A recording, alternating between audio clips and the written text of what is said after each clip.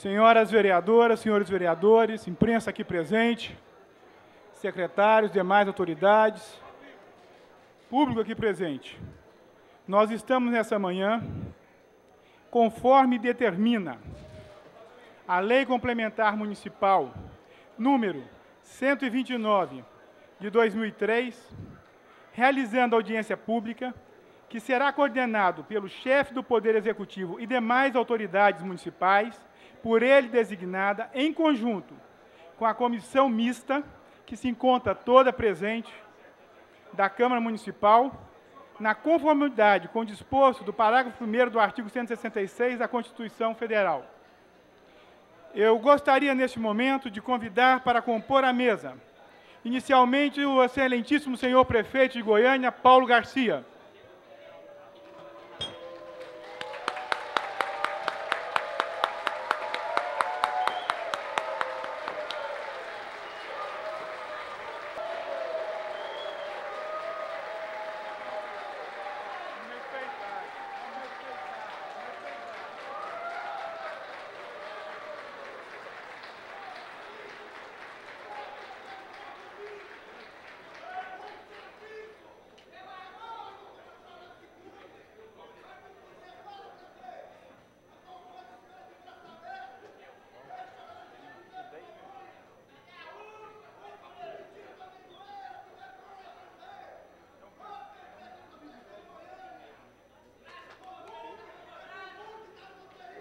Eu pediria a ordem, por favor, neste momento, para dar sequência aos trabalhos.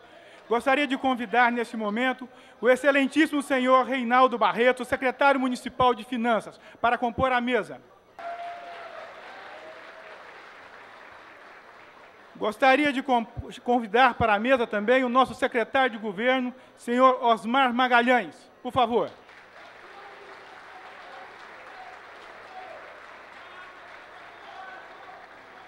Gostaria também de poder convidar para compor a mesa o excelentíssimo senhor Procurador-Geral do Município, Carlos de Freitas Borges Filho, por favor.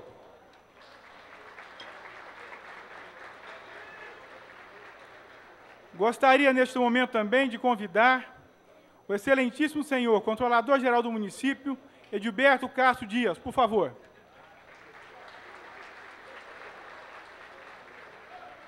Gostaria também de convidar para estar à mesa o secretário da Sendus, Dr. Nelcivone Soares de Mello, por favor.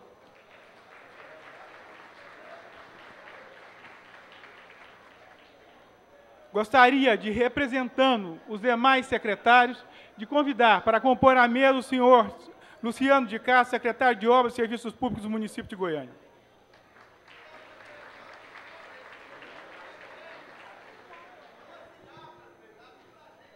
Eu pediria, neste momento, para que vocês nos, nos colaborassem, para que nós pudéssemos realizar audiência pública da forma com que foi prevista, estabelecendo o direito pleno do direito da cidadania, com direito a todas. E é essa democracia que nós vamos, nesse momento, impor aqui. Senhoras e senhores, dado essa questão, nós vamos passar, neste momento, a palavra para o senhor prefeito municipal de Goiânia, Paulo Garcia, e os seus secretários para que possam fazer a apresentação de contas. Outra questão, eu gostaria de poder pedir a atenção e a colaboração de todos vocês. Nós estamos fazendo em plenário com o objetivo de realizar da forma mais democrática possível. Gostaria, neste momento, de passar a palavra ao senhor prefeito pedindo respeito. Por favor. Prefeito, bom dia. Bom dia a todos e a todas. Obrigado, obrigado, obrigado, obrigado. Bom dia aos senhores vereadores e às senhoras vereadoras. É com muita satisfação, presidente desta comissão, que nós, mais uma vez, estamos aqui nesse plenário para participar de um momento democrático, um momento de transparência, um momento de diálogo com o Poder Legislativo da cidade de Goiânia e, consequentemente, com os seus representados, a nossa comunidade, cada homem e cada mulher dessa cidade. É com muita alegria que eu saldo a presença de todos. Quero que o senhor seja portador do nosso abraço ao presidente desta casa, o vereador Clécio Alves, e aos demais vereadores e vereadoras. Neste momento, é, senhor presidente, Paulo Borges, eu repasso ao senhor toda a documentação referente à prestação de, de contas quadrimestral. E anuncio também a todos e todas que já se encontra no site da Prefeitura Municipal toda a prestação de contas com todo o seu detalhamento. Muito bem, senhor presidente. Eu vou ser muito franco com o senhor e com os senhores vereadores e vereadoras. Eu, quando vim para cá, eu teria vindo predisposto a fazer a apresentação formal, que é característica desse momento, previsto em lei, fazendo um detalhamento mais acentuado das, da nossa situação quadrimestral relativa aos nossos aspectos financeiros, econômicos e contábeis. Mas face essa pluralidade, rica, rica, muito rica. Eu gosto muito da movimentação de cada homem e de cada mulher nessa cidade. Eu considero que todas as manifestações são legítimas, mesmo que elas sejam individuais, que não representem a coletividade. Eu acho que nós podíamos aproveitar esse momento para o debate. Para o debate. Então eu vou fazer o seguinte. Eu vou propor o seguinte. Eu vou fazer a proposta, se os senhores aceitarem, os vereadores e vereadoras, eu faço uma leitura muito sucinta da, da compilação dos dados e estou disposto a que o senhor abra para os vereadores e vereadores se inscreverem para nós debatermos qualquer tema que eles desejarem. Senhor prefeito, só um minutinho. Como é uma audiência pública e neste momento nós temos uma comissão, eu quero dizer o seguinte: além da sua prestação, vai ser aberto, então, para todos os vereadores, num tempo de três minutos para cada vereador, porque nós temos também que, nesse momento, dar a palavra a todos.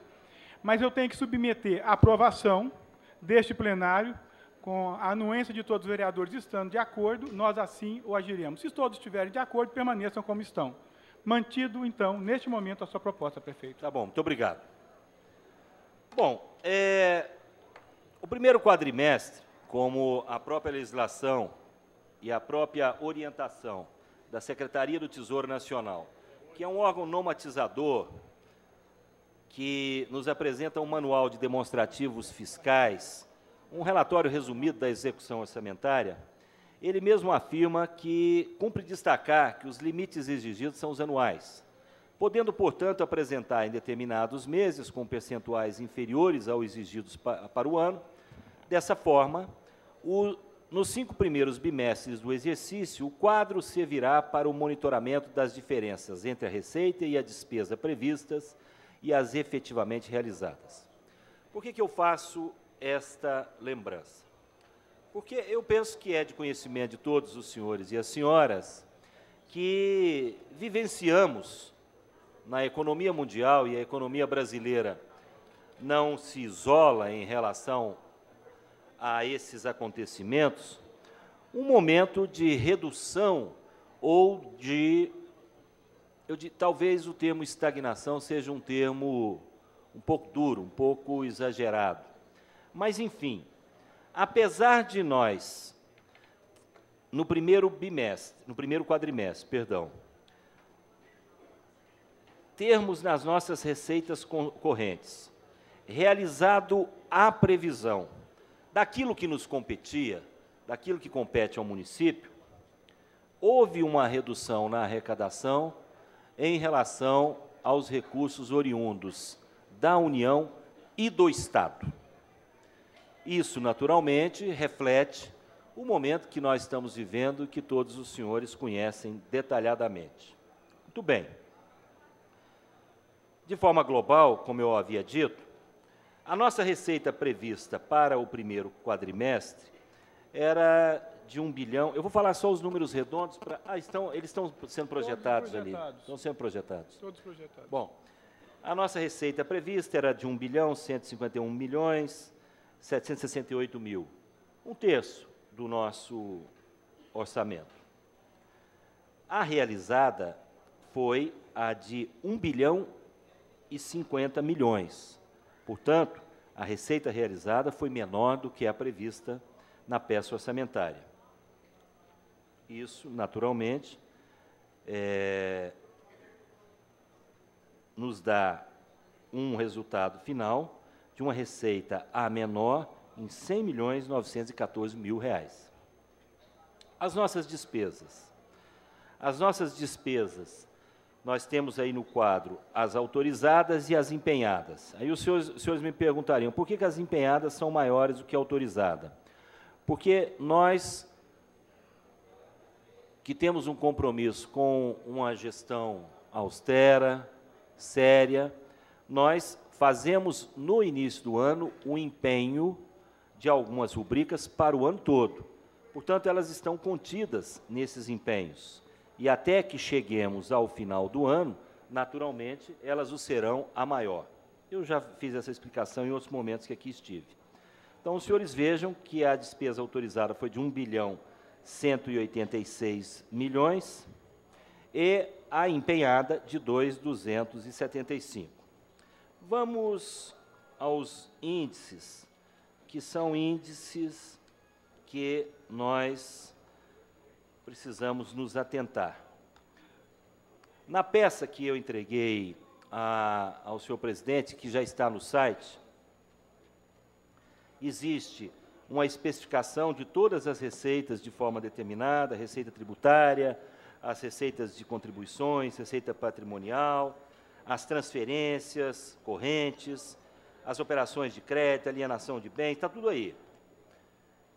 Depois nós temos uma, uma planilha mais detalhada ainda, onde mesmo a receita tributária ela é subdividida na, na, na sua origem seja imposto territorial urbano, imposto sobre serviço, imposto sobre transferência, isso tudo está aí à disposição dos senhores. Nas transferências correntes, nós colocamos o nosso fundo de participação no município, a nossa cota parte do ICMS, a nossa cota parte de, PM, de PVA, as transferências do Fundeb, estão todos aí esses números. Nós, mais na frente também, temos uma despesa realizada com, res, com repasse aos órgãos, discriminando o que lhes foi repassado nesse primeiro quadrimestre.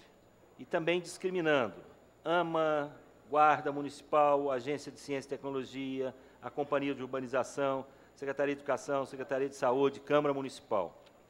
Muito bem. Chegamos ali numa, num demonstrativo de despesa com o pessoal.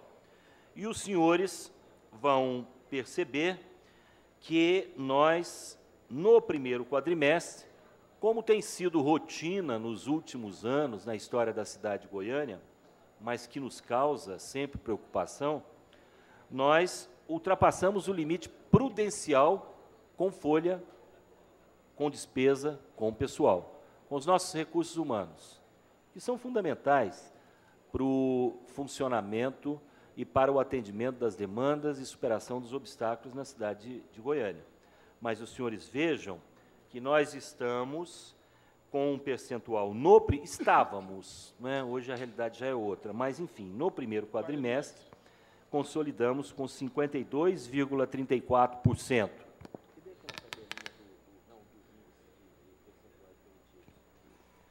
E para, principalmente para cada homem, cada mulher que, que está presente aqui hoje nessa sessão, nas galerias, e para vocês que nos assistem na TV Câmara. Isso é importante que vocês entendam, porque os vereadores e vereadoras sabem isso detalhadamente. O que é, o, quais são os limites previstos em lei para que nós possamos destinar recursos orçamentários para despesa com pessoal. O limite de alerta, o limite de alerta é de 48,6%. O limite prudencial é de 51,3%. Portanto, nós estamos acima do limite prudencial. Nós gastamos no primeiro quadrimestre 52,34% com servidores e servidoras. E o limite máximo previsto em lei é de 54%. Portanto, nós estamos dentro da lei, mas ultrapassamos a fase de alerta e ultrapassamos o limite prudencial. Isso é mais ou menos dizer o seguinte para vocês que não estão nos vendo. Vamos pegar como exemplo a nossa casa, porque administrar uma prefeitura é mais ou menos como administrar nossa própria casa, desde que nós estejamos dispostos a fazê-lo de forma séria. É como se nós, na nossa casa, toda a receita que temos, gastássemos 50% com os trabalhadores e trabalhadoras que nos servem na nossa casa. Que normalmente é uma empregada doméstica ou um empregado doméstico, é alguém que passa roupa ou que lava roupa, enfim, depende, não é? Aqueles mais abonados têm mais servidores na sua casa, mas é como se nós gastássemos tudo que a gente tem na nossa casa, metade só para pagar servidores. Isso acontece em quase todo o país. Isso não é uma realidade exclusiva do município da cidade de Goiânia. Mas é algo que nós precisamos discutir de forma transparente, de forma aberta, para que nós possamos equacionar o futuro, as futuras gerações. Nós precisamos pensar como tratar essa questão. Por quê? Porque eu vejo aqui, e posso falar isso com tranquilidade, eu vejo ali, por exemplo, uma solicitação de prorrogação de um dos concursos. E eu os prorrogarei, não tenha dúvida. Eu talvez tenha sido o prefeito que mais contratou que mais efetivou servidores concursados na história da cidade de Goiânia. Eu tenho um apego primordial pelo servidor efetivo concursado. Eu acho que essa é a forma mais séria, transparente e democrática de, até, de ter até acesso ao serviço. Mas vejam bem, por que, que é que nós vamos graduando o chamamento? Nós vamos graduando o chamamento Viu, senhora? Eu, eu vou prorrogar, pode ter certeza. Nós vamos graduando o chamamento, porque nós temos que olhar o atendimento das nossas necessidades e temos que olhar os índices que a lei nos permite a contratação. Mas, no final, todos são chamados. A senhora pode ter certeza do meu compromisso de chamar todos os concursados. Eu sou funcionário público federal. Eu fui concursar. Eu fui concursado, eu sei o valor de um concurso. Mas eu estou dizendo isso para vocês entenderem. Isso aí depois eu falo, eu vou falar já. Eu já vi o decreto Vale do Sonho, nós vamos assinar. Bom, mas vamos lá. É, vamos lá. Então, o Poder Executivo, o Poder Executivo tem, então, no seu, primeir, no seu primeiro é, quadrimestre, um gasto com despesa de pessoal de 52,34% acrescido a Câmara, nós fomos para um índice de 54,19. Aí talvez os senhores me digam, ah, então ultrapassamos o, o limite prudencial, que é de 50, o limite legal, que é de 54. Não. Quando a Câmara é inserida nesse contexto, o limite é de 60%. Muito bem. Para que os senhores tenham ideia desse montante, é muito dinheiro. É muito dinheiro. Receita corrente líquida no período, nós tivemos 2 bilhões 788 milhões. Números redondos. Despesas com pessoal no período, 1 bilhão 459 mil, 459 milhões. Então, é um montante significativo. Muito bem. Tem aí também uma síntese de receitas recebidas e valores transferidos para a saúde. Os senhores vão ver que o índice de aplicação na saúde foi no primeiro quadrimestre de 28,48%. Isso nos alegra? Não, não, não nos alegra. Tanto não nos alegra que no sábado, hoje nós estamos na quinta-feira, quinta-feira, que no sábado lá na inauguração da UPA do Itaipu, nós vamos anunciar um grande pacote para a saúde.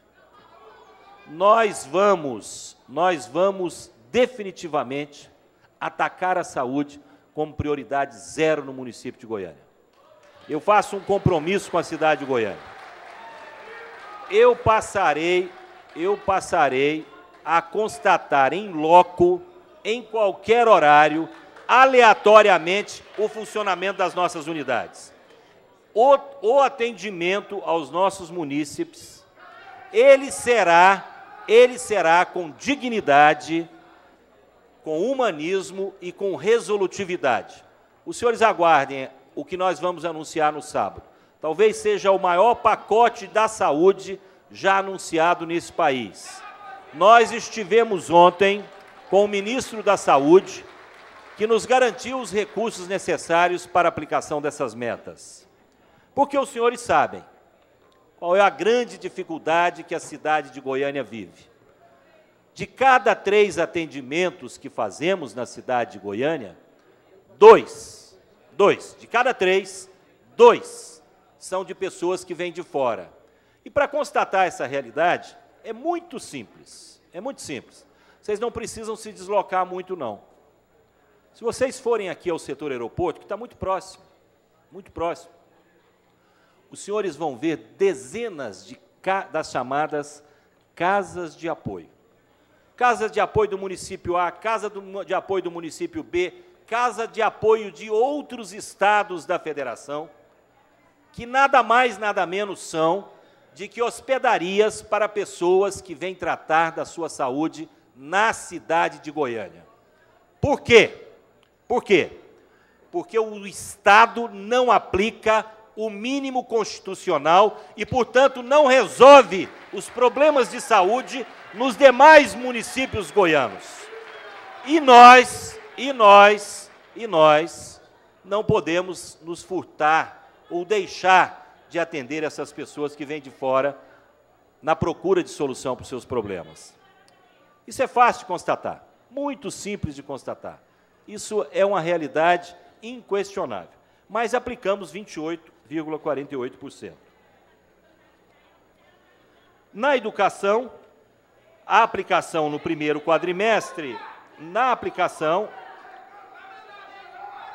na, aplica, na, saúde, na educação, a aplicação foi de 22,40%. Portanto, no primeiro quadrimestre, ainda abaixo do limite constitucional de 25%. Mas rotineiramente isso acontece ao longo dos anos e não há ano nas últimas administrações que não tenha sido aplicado o preceito constitucional. Tudo bem, senhor presidente. Eu imagino que com essa sucinta apresentação, e como eu havia proposto, nós poderíamos passar para a fase de debates com os vereadores e vereadoras. E estou, nesse momento, pronto, disposto a responder qualquer tema que os senhores e as senhoras desejem. Muito obrigado. Eu quero, neste momento, agradecer a explanação do prefeito. Além de todos os secretários que estão na mesa, eu gostaria ainda de agradecer a presença do Irã Saraiva Júnior, chefe do gabinete do prefeito, do excelentíssimo senhor Lívio Luciano, deputado estadual, chefe do gabinete civil da Prefeitura de Goiânia, senhora Sirlene Mendonça, assessora de imprensa do prefeito, senhor Paulo de Tarso, presidente da Comug, senhor José Geraldo Freire, secretário municipal de Indústria e Comércio, excelentíssima senhora Cristina Laval, superintendente do Instituto de Assistência e Saúde Social dos Servidores Municipais, excelentíssimo senhor Cristiano Meirelles, secretário municipal de Ciência e Tecnologia, excelentíssimo senhor Sebastião Peixoto, secretário municipal de Esportes, Excelentíssimo senhor Ivanor Florenço, secretário extraordinário do Movimento Social, Excelentíssima senhora Gleicia Antunes, secretária municipal de Cultura, Excelentíssima senhora Maristela de Alencar Bueno, secretária de Assistência Social, Excelentíssimo senhor Miguel Tiago do PROCON, Excelentíssimo senhor Pablo Henrique Rezende, secretário de Políticas para a Juventude, senhor Excelentíssimo senhor é, Ubirajara Abud, secretário municipal do CMTC, e ainda agradecer a presença dos nossos companheiros dessa casa, Denício Trindade, que é do Macambira Nicuns, obrigado Denício, e também do extraordinário secretário ali, Fábio Cacheta, que também compõe essa casa. Senhoras e senhores, dentro do que foi proposto pelo nosso prefeito, acordado por todos os vereadores dessa casa, nós vamos, nesse momento, abrir a pergunta para aqueles vereadores que já estão inscritos e outros que estão se inscrevendo. Começaremos pela ordem já inscritos. De acordo com o que já havia sido acordado, nós vamos abrir para os vereadores, no tempo de três minutos para cada. Está sendo cronometrado. Lembrando ainda que eu vou chamar três vereadores em seguida mais três vereadores, como foi acordado. O prefeito então responderá a esses três, em seguida aos próximos. Começando, Tatiana Lemos, por favor, a primeira. Você.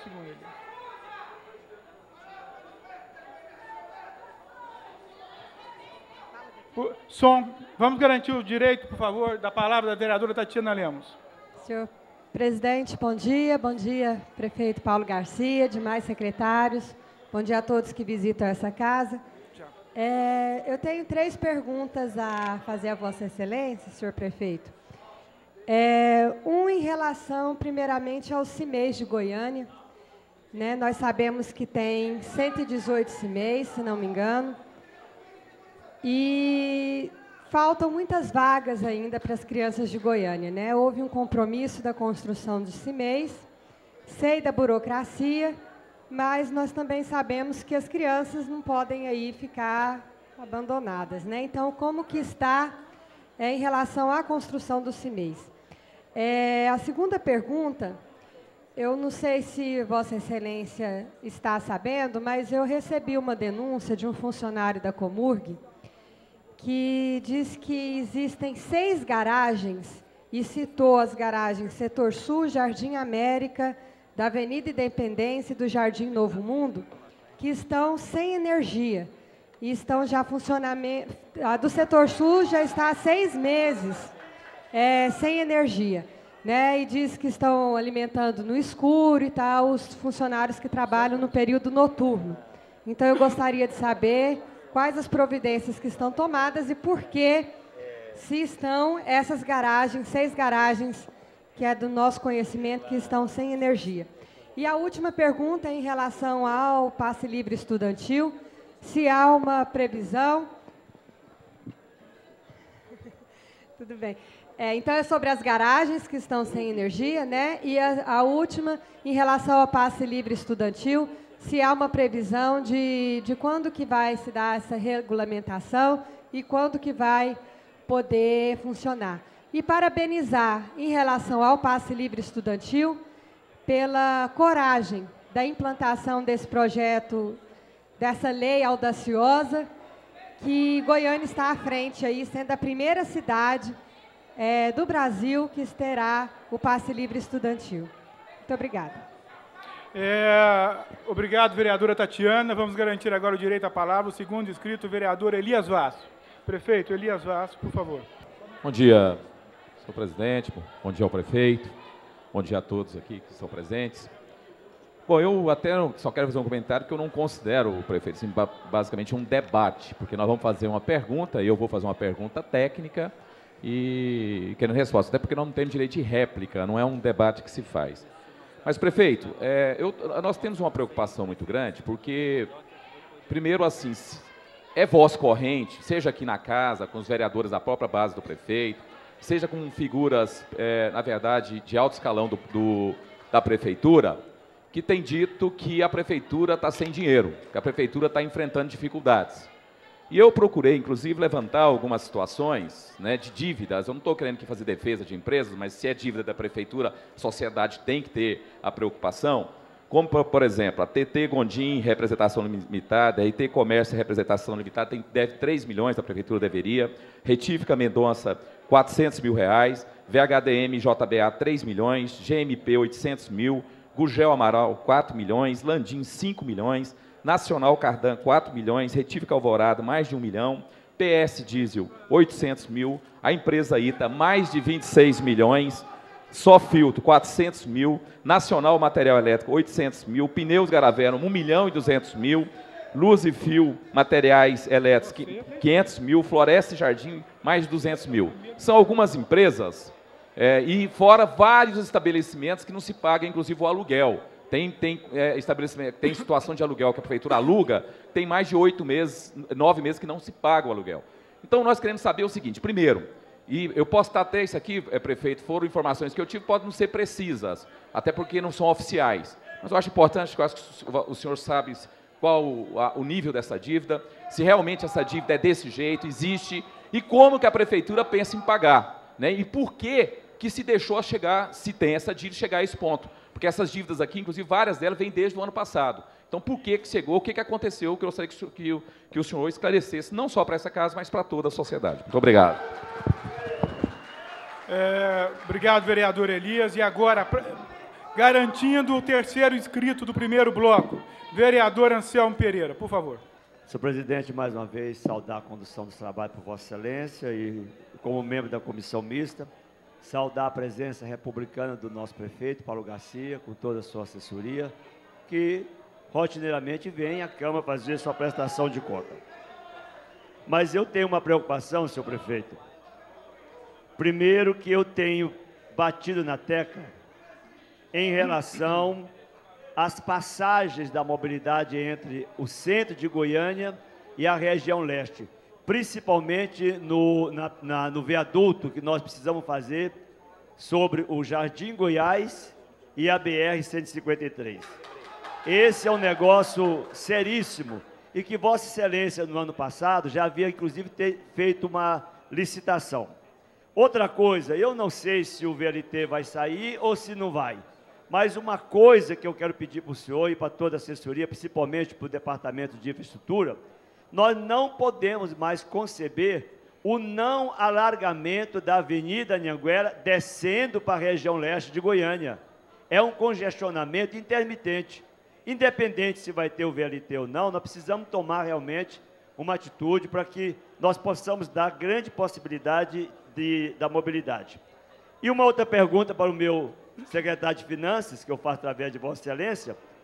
Aprovamos uma conciliação e nós estamos falando de receita. E é bom que nós possamos conciliar imediatamente para que essa receita possa ser incrementada no nosso município.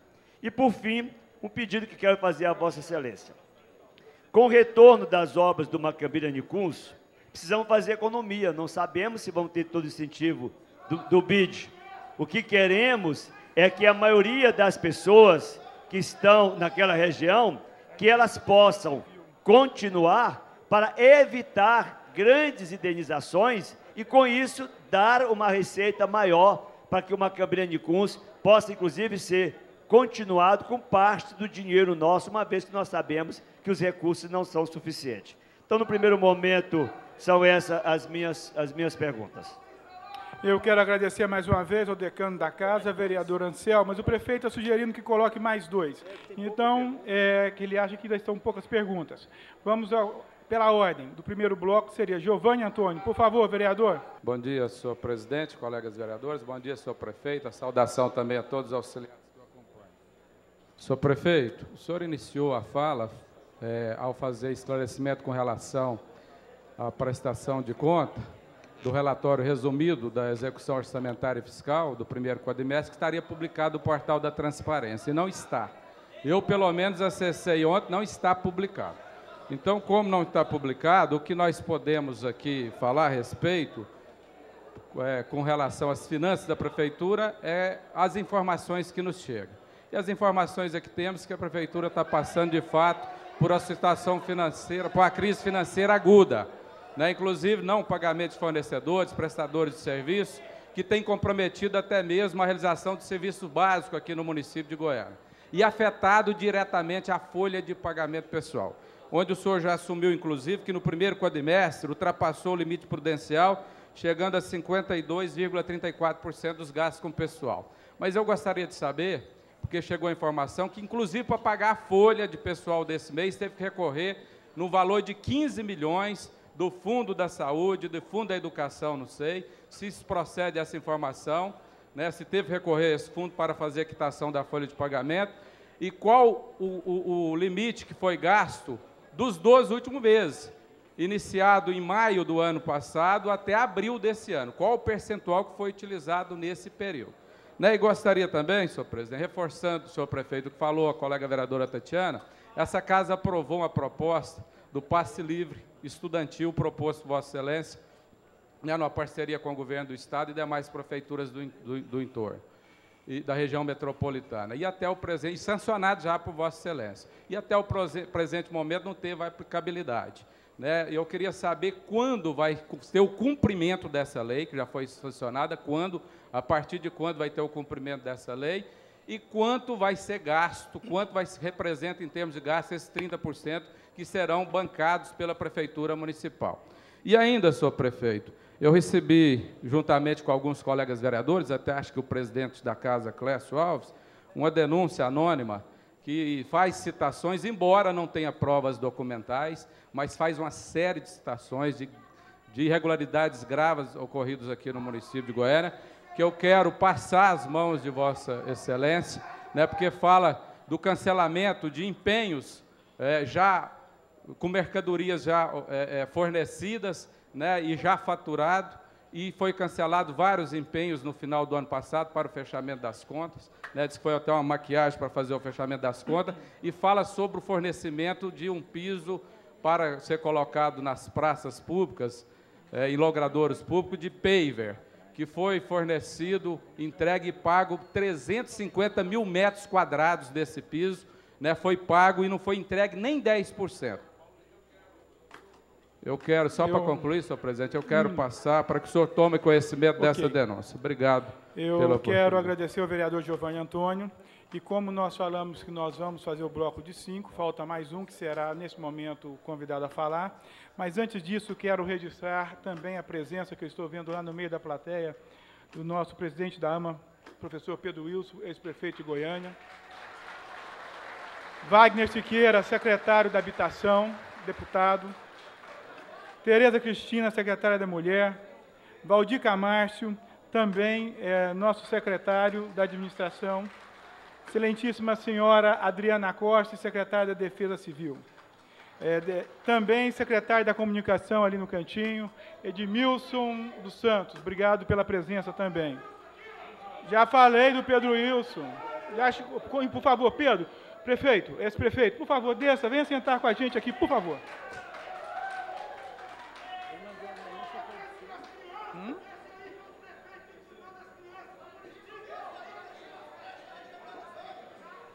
Bom, neste momento nós vamos ouvir o quinto, que será o vereador Felisberto Tavares. Por favor, Felisberto.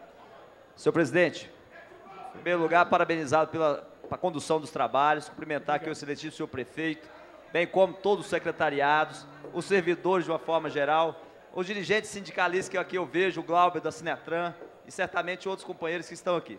Senhor prefeito, cumprimento aqui as lideranças da região leste, Davi Moreira, etc. Eu entendo muito bem as demandas e tenho falado com o senhor, o senhor tem nos recebido toda segunda-feira e certamente grande parte dos requerimentos que a gente apresenta ao senhor e à casa, certamente grande parte deles são direcionados à região leste de Goiânia, região a qual eu sinto muita honra em representar, como não sem desprezar toda Goiânia, eu sou vereador por toda Goiânia.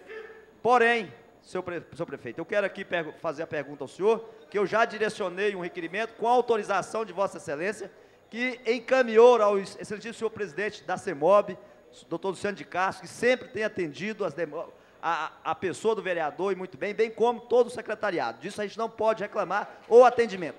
Entretanto, a execução, a execução deixa, deixa muito a desejar. Um ou outro secretário tem a disposição de nos esclarecer que é a falta de recurso e tem dado as explicações, como bem tem dito Vossa Excelência. Entretanto, o senhor vê a manifestação que representa aquela parte de Goiânia totalmente desprovida de grande parte de equipamentos públicos. E eu gostaria, nesse momento, prefeito, de restabelecer é, que, que essa prefeitura, que essa gestão restabeleça a, ação do poder público naquela região que compete ao, ao município.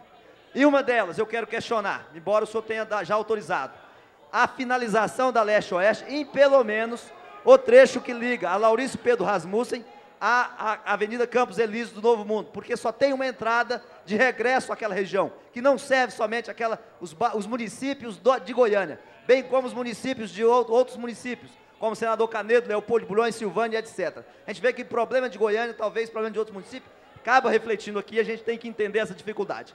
A unidade de pronto atendimento, que já foi lançada, né?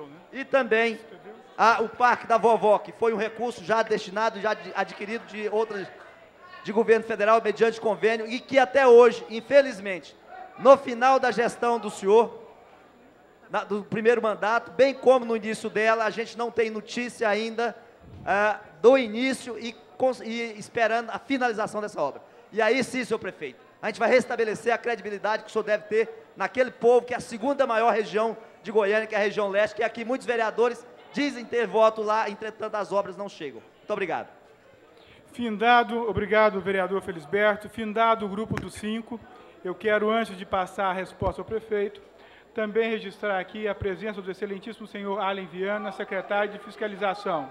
Neste momento, é, o prefeito com a palavra, lembrando que são cinco vereadores e nós estamos, assim, dando direito a todos. Garantida a palavra ao senhor prefeito, por favor. Muito obrigado, presidente. Vereadora Tatiana, obrigado pelas suas perguntas e a senhora sabe da admiração que eu tenho pelo seu trabalho.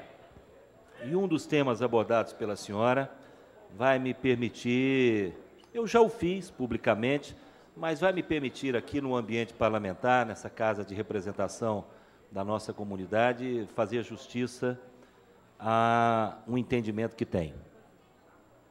Em relação ao CIMEIS, a senhora entremeou na sua fala, e é verdade, a dificuldade dos processos burocráticos, a tramitação lenta, a dificuldade dos recursos chegarem, a morosidade das obras, mas nós vamos cumpri-la. Aquilo que propusemos, a senhora não tenha dúvida. Nós entregamos esse ano um CIMEI e vamos entregar mais 11 até o final do ano. Nós temos um pronto agora para ser entregue, que nós deveremos entregar na próxima semana, no mais tardar, nos próximos 15 dias. Serão 11 nesse semestre. Esse é um compromisso que eu tenho, vereadora, porque eu tenho uma crença pessoal que nada me faz afastar dela.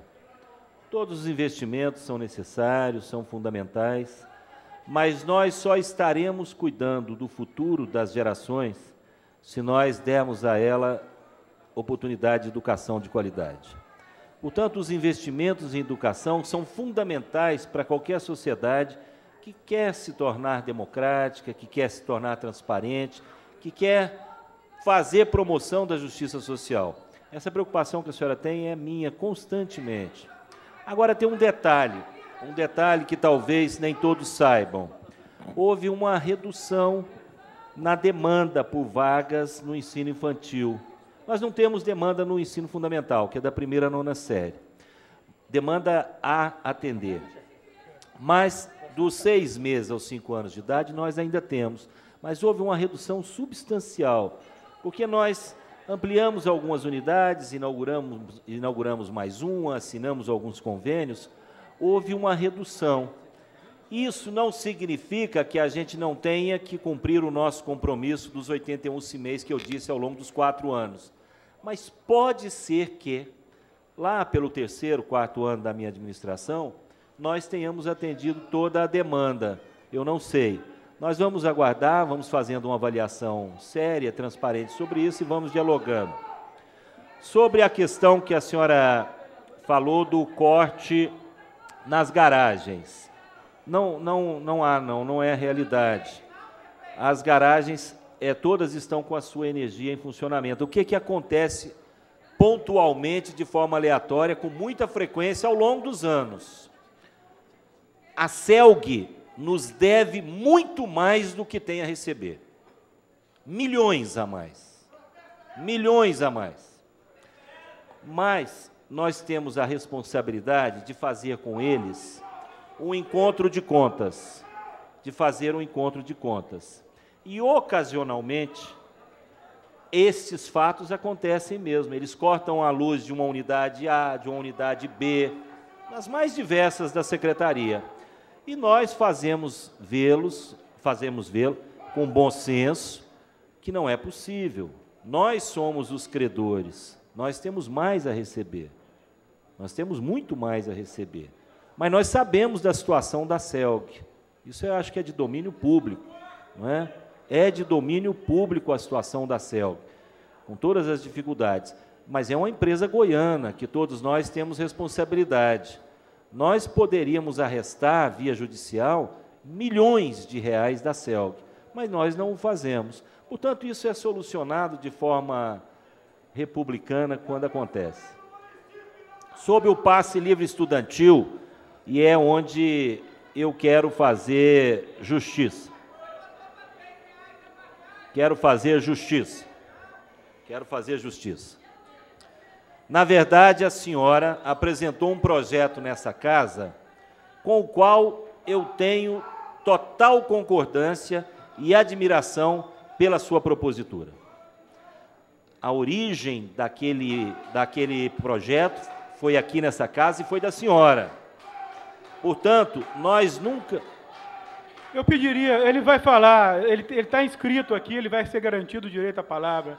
Vamos, vamos, vamos dar, garantir o direito à palavra ao prefeito. Assim, deixa eu, deixa eu dizer. Eu respeito todas as manifestações, elas são justas, mas é que se, se os, o grito é muito intenso, eu acabo não ouvindo. É, eu tenho que, neste momento, na condição de presidente... Mas vamos lá, vereadora Tatiana, sobre o passe livre estudantil. Vai, vai, vai, é de sua autoria inicial este projeto.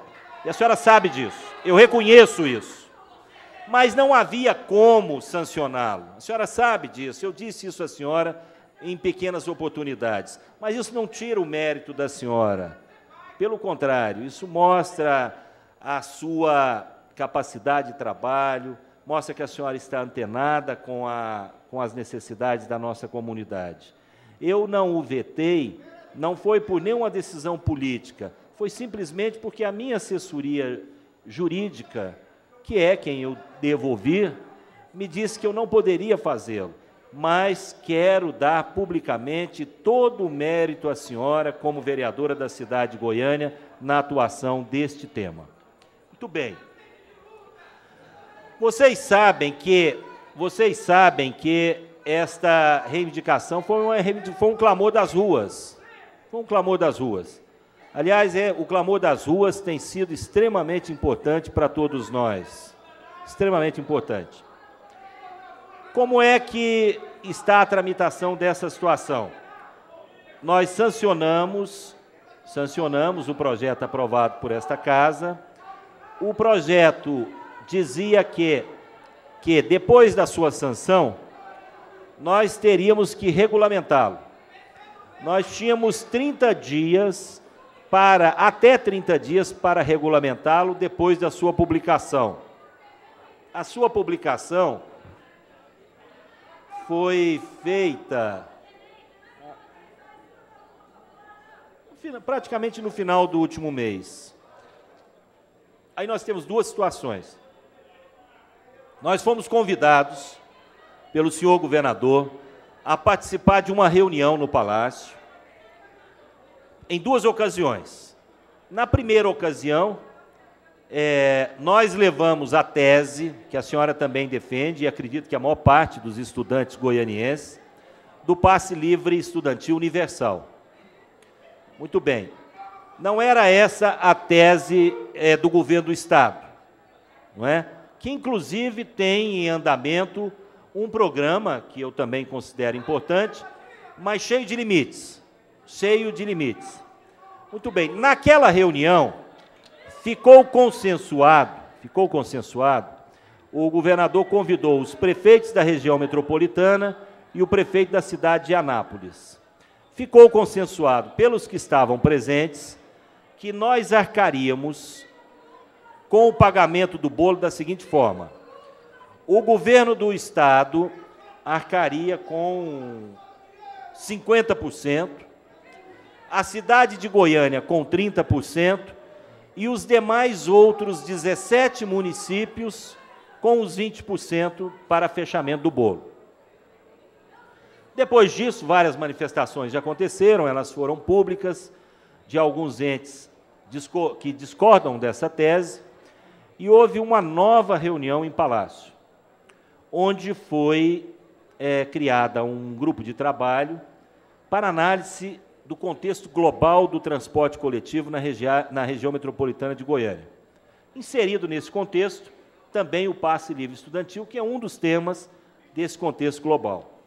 Muito bem, essa comissão foi formada, ela está trabalhando, mas as informações que eu tenho dos representantes do município de Goiânia neste grupo de trabalho é que a decisão tomada lá é que a discussão do tema passe livre estudantil na região metropolitana só será abordada depois, depois que nós, Goiânia, regulamentarmos o nosso.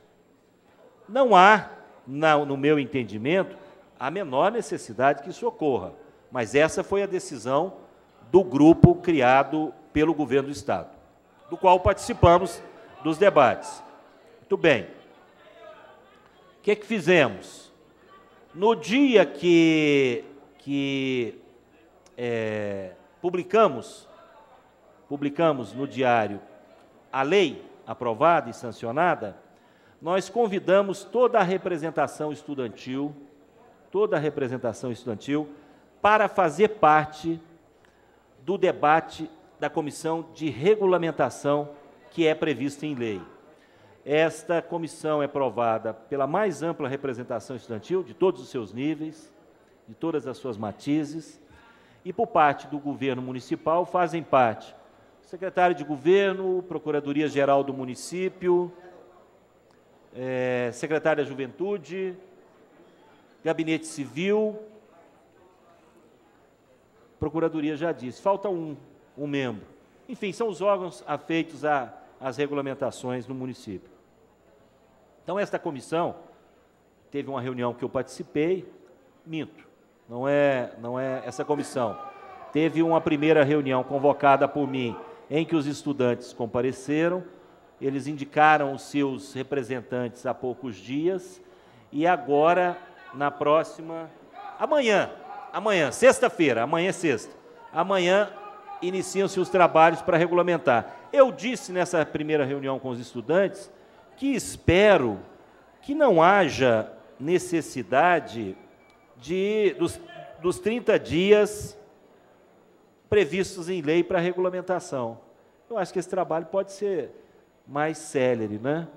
Então eu estou dependendo desta regulamentação para aí iniciarmos o processo também previsto em lei do cadastramento e início efetivo da utilização.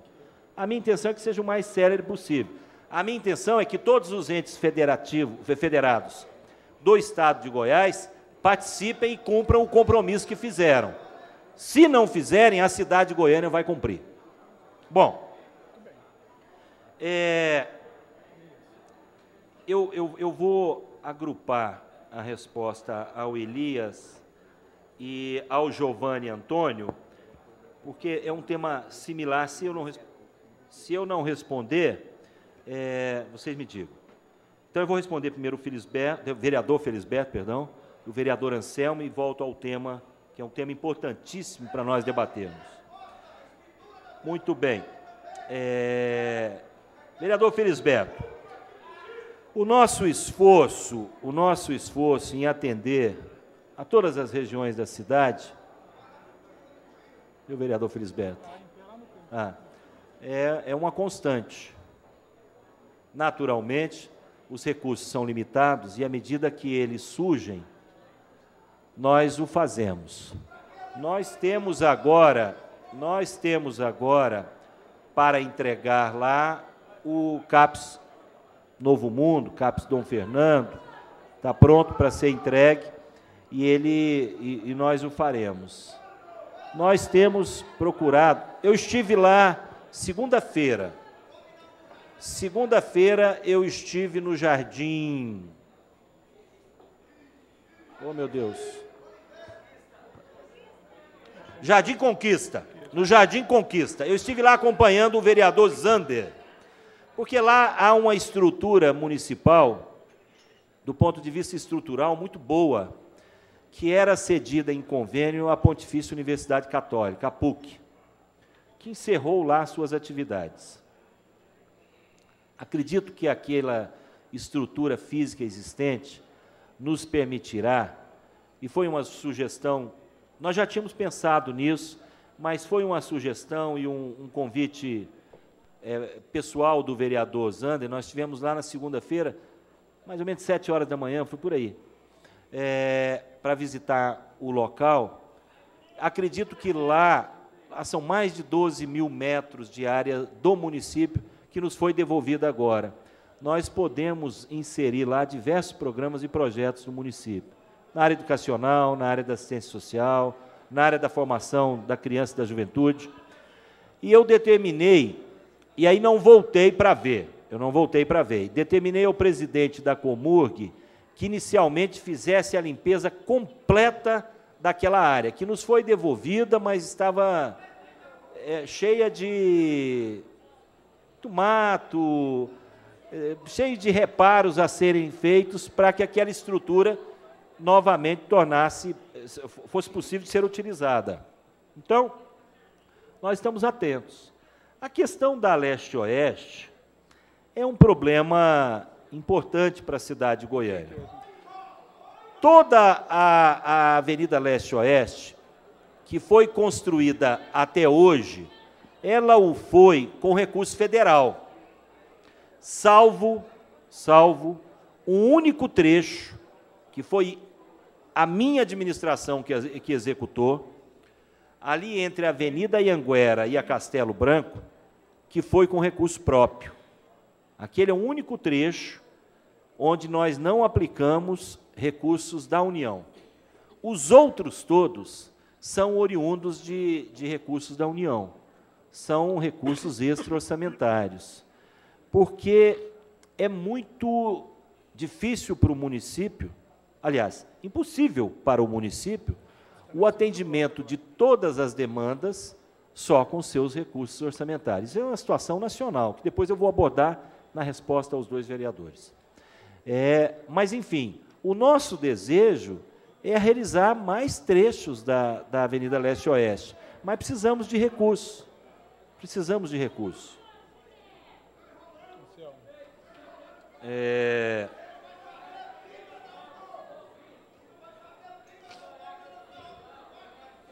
Vereador Anselmo, vereador Anselmo, o senhor é, abordou ali o, o viaduto sobre a BR, que está ali próximo àquele depósito da Electra. As pessoas costumam chamar de depósito da Celg, mas é próximo a, a, ao viaduto da Electra. Nós estamos construindo duas obras estruturais viárias. Uma, ali o, o, o, que nós denominamos de, não sei nem se já passou pela Câmara, se a Câmara já aprovou como lei, a denominação daquele complexo viário de complexo viário governador Mauro Borges. Ali no entroncamento dois, dos dois braços das marginais, da 88, da Avenida A e da Avenida E. Está em fase adiantada, inclusive passei por lá hoje vindo para esta casa. E estamos terminando também o túnel da Avenida Araguaia. O nosso desejo, o nosso desejo é iniciar mais dois viadutos. E posso lhe dizer posso lhe dizer que os nossos viadutos estão em andamento. Porque existem alguns viadutos anunciados que não têm nada além do tapume. Os nossos viadutos estão em andamento.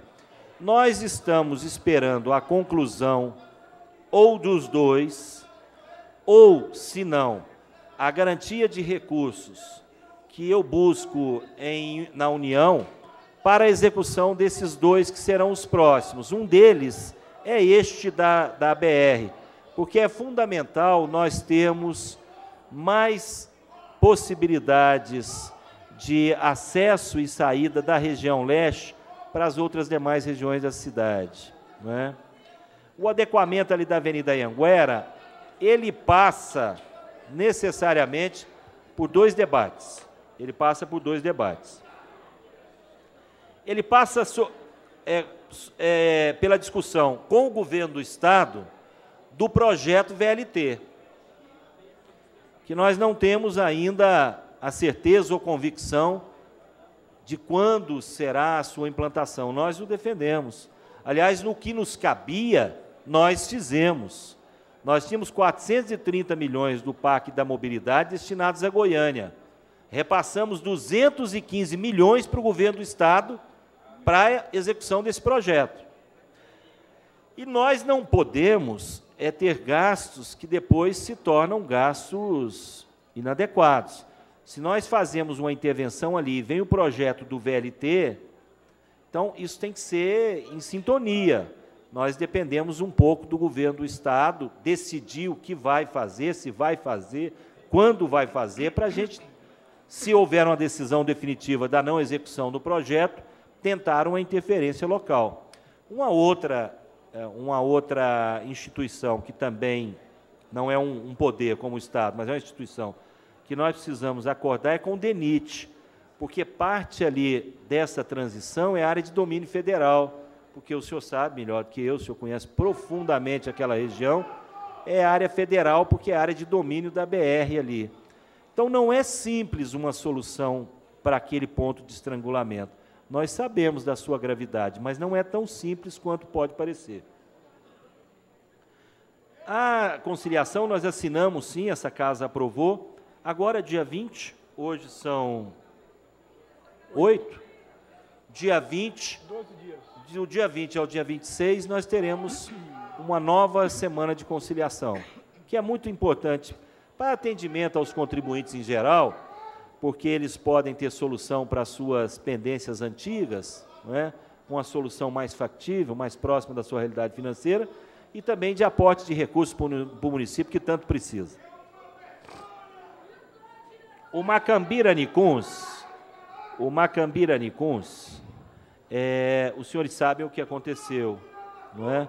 O Macambira Nicuns, a empresa ganhadora da licitação, é, desistiu da execução da obra, não foi falta de recurso, talvez tenha sido dos projetos, o projeto que os pagamentos foram feitos da forma mais séria possível, mais rápida, com a menor eh, burocracia, porque os recursos são recursos internacionais garantidos, já existem, né?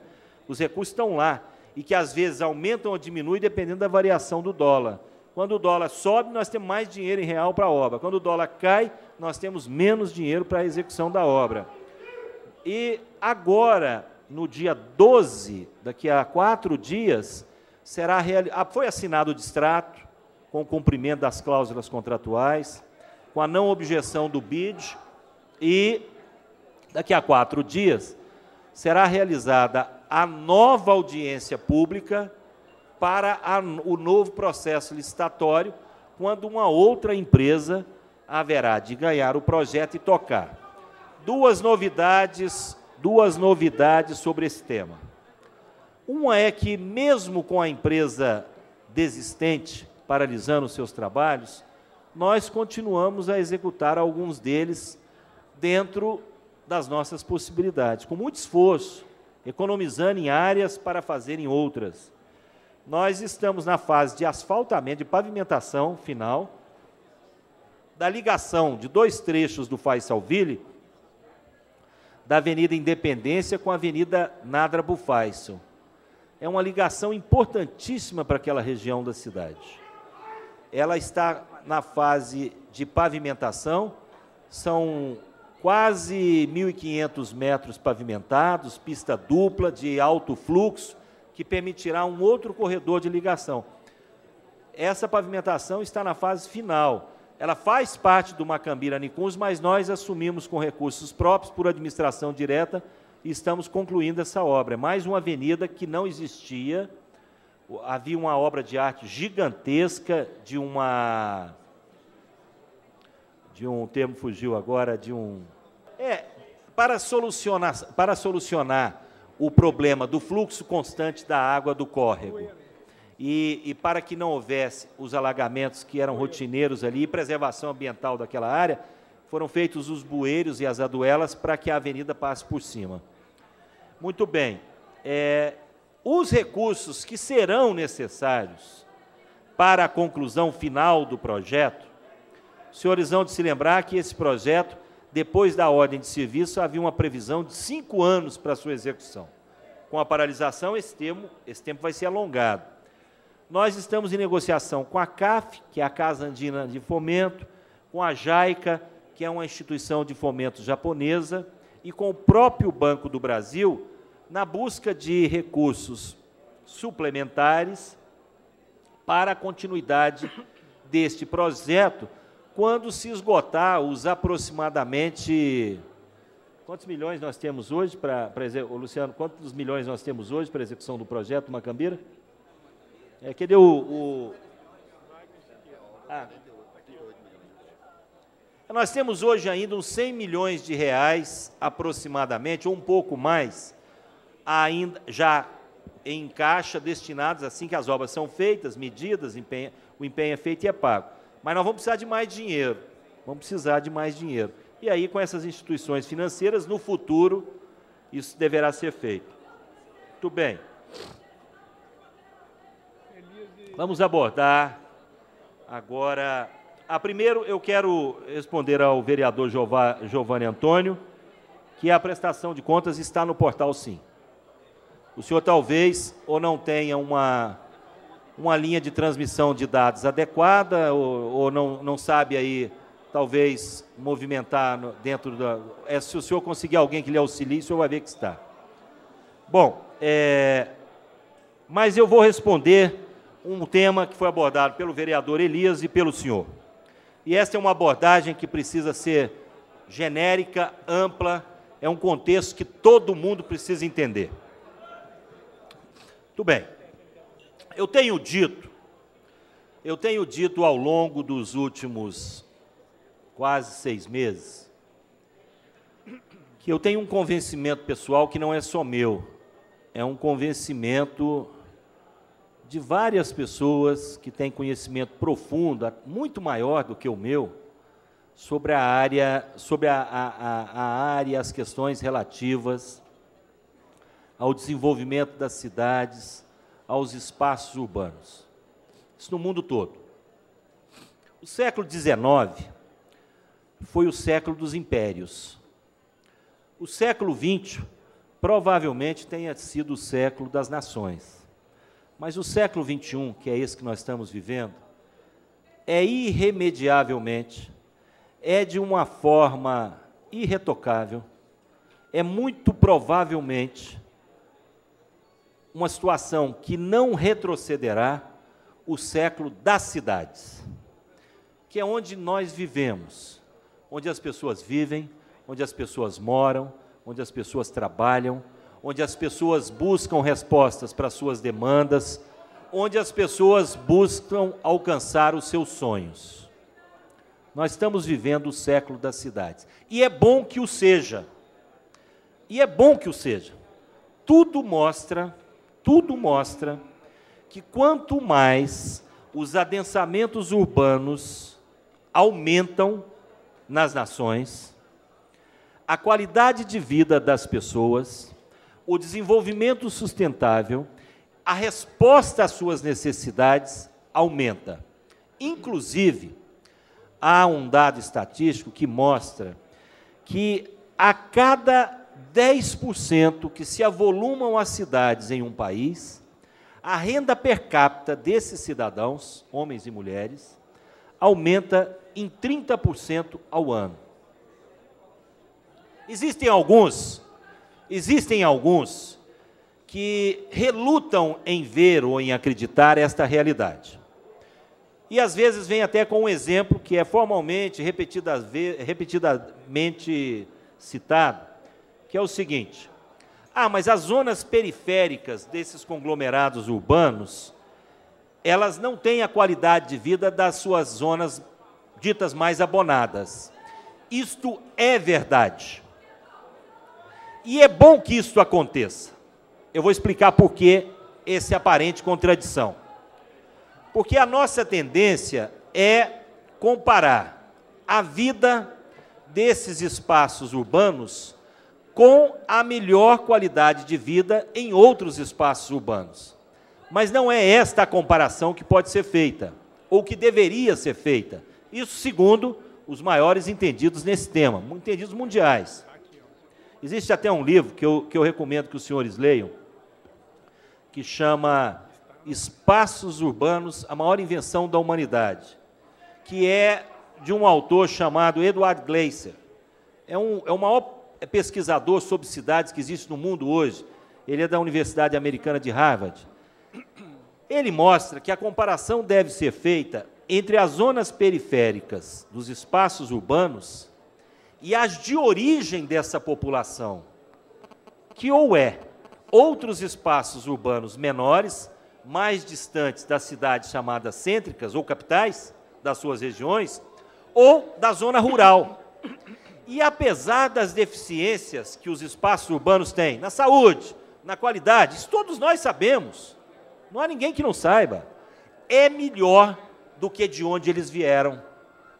E eles só vêm por um motivo único, e por isso é que eu digo, e a minha interpretação foi a, após ver e ouvir e ler esses autores, é que é bom que aconteça, que as cidades cresçam, que os pobres a procurem.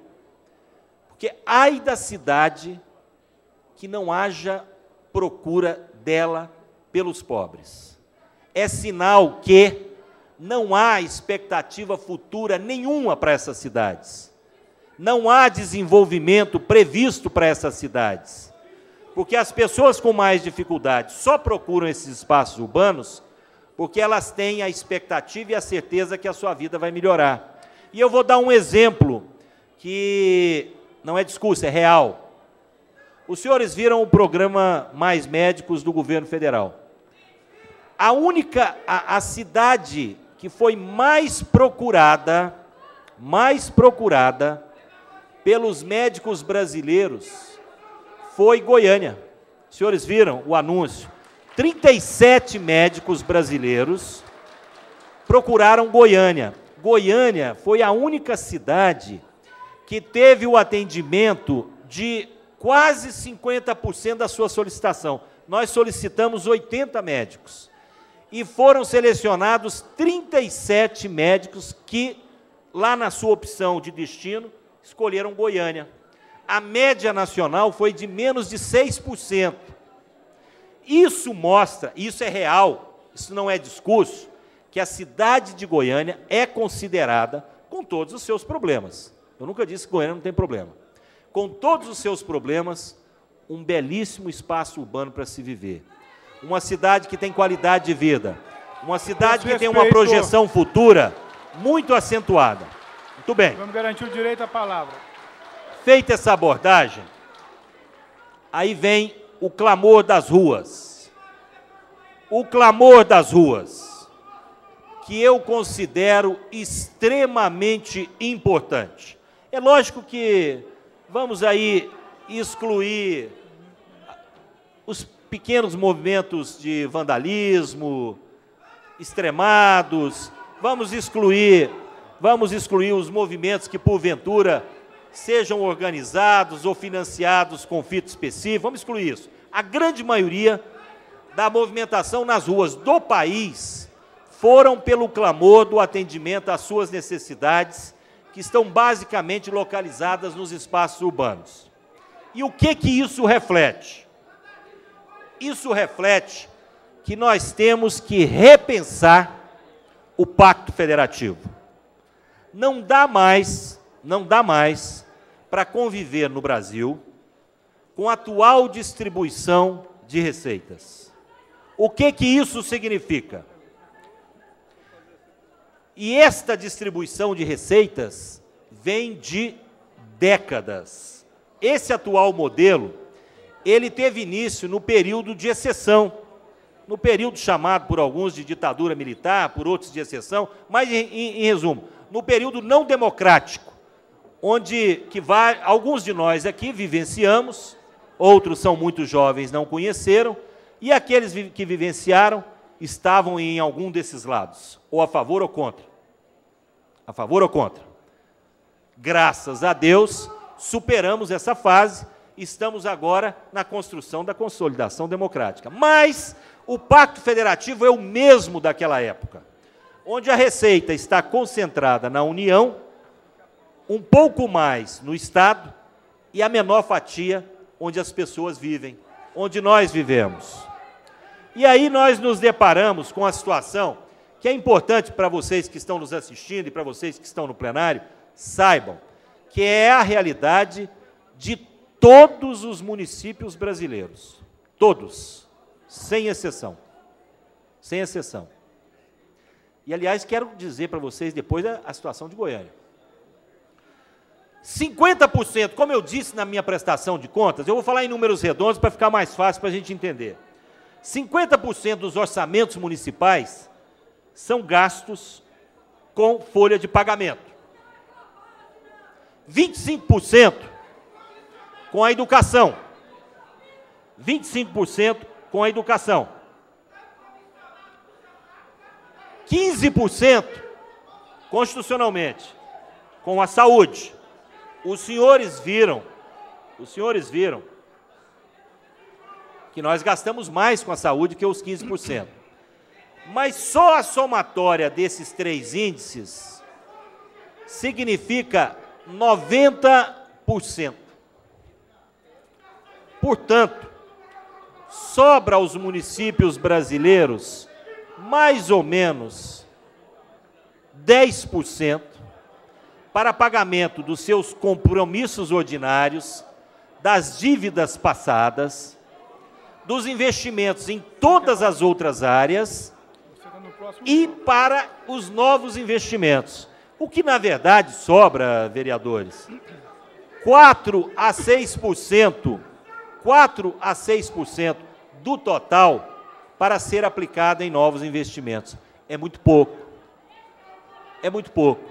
Por isso que nós vivemos nessa luta entre orçamento e realidade. E aí, existem algumas pessoas, pessoas desavisadas, ou desinformadas, ou mal intencionadas, que tentam divulgar realidades que não são fato. Quando nós falamos que os municípios gastam 50% com folha, algumas pessoas dizem assim: ah, isso é gasto com comissionados. Eu gostaria de pedir que se mantivesse a ordem ou nós vamos ser obrigados a interromper a presente sessão. Reafirmo. Reafirmo. Bom, vamos. Quero estabelecida a ordem.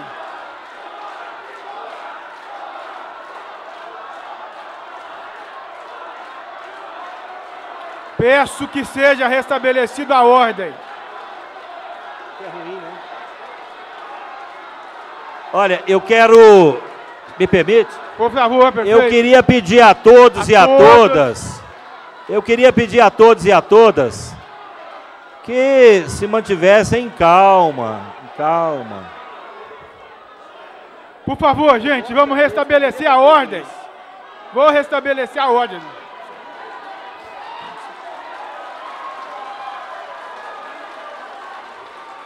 Peço que seja restabelecida a ordem.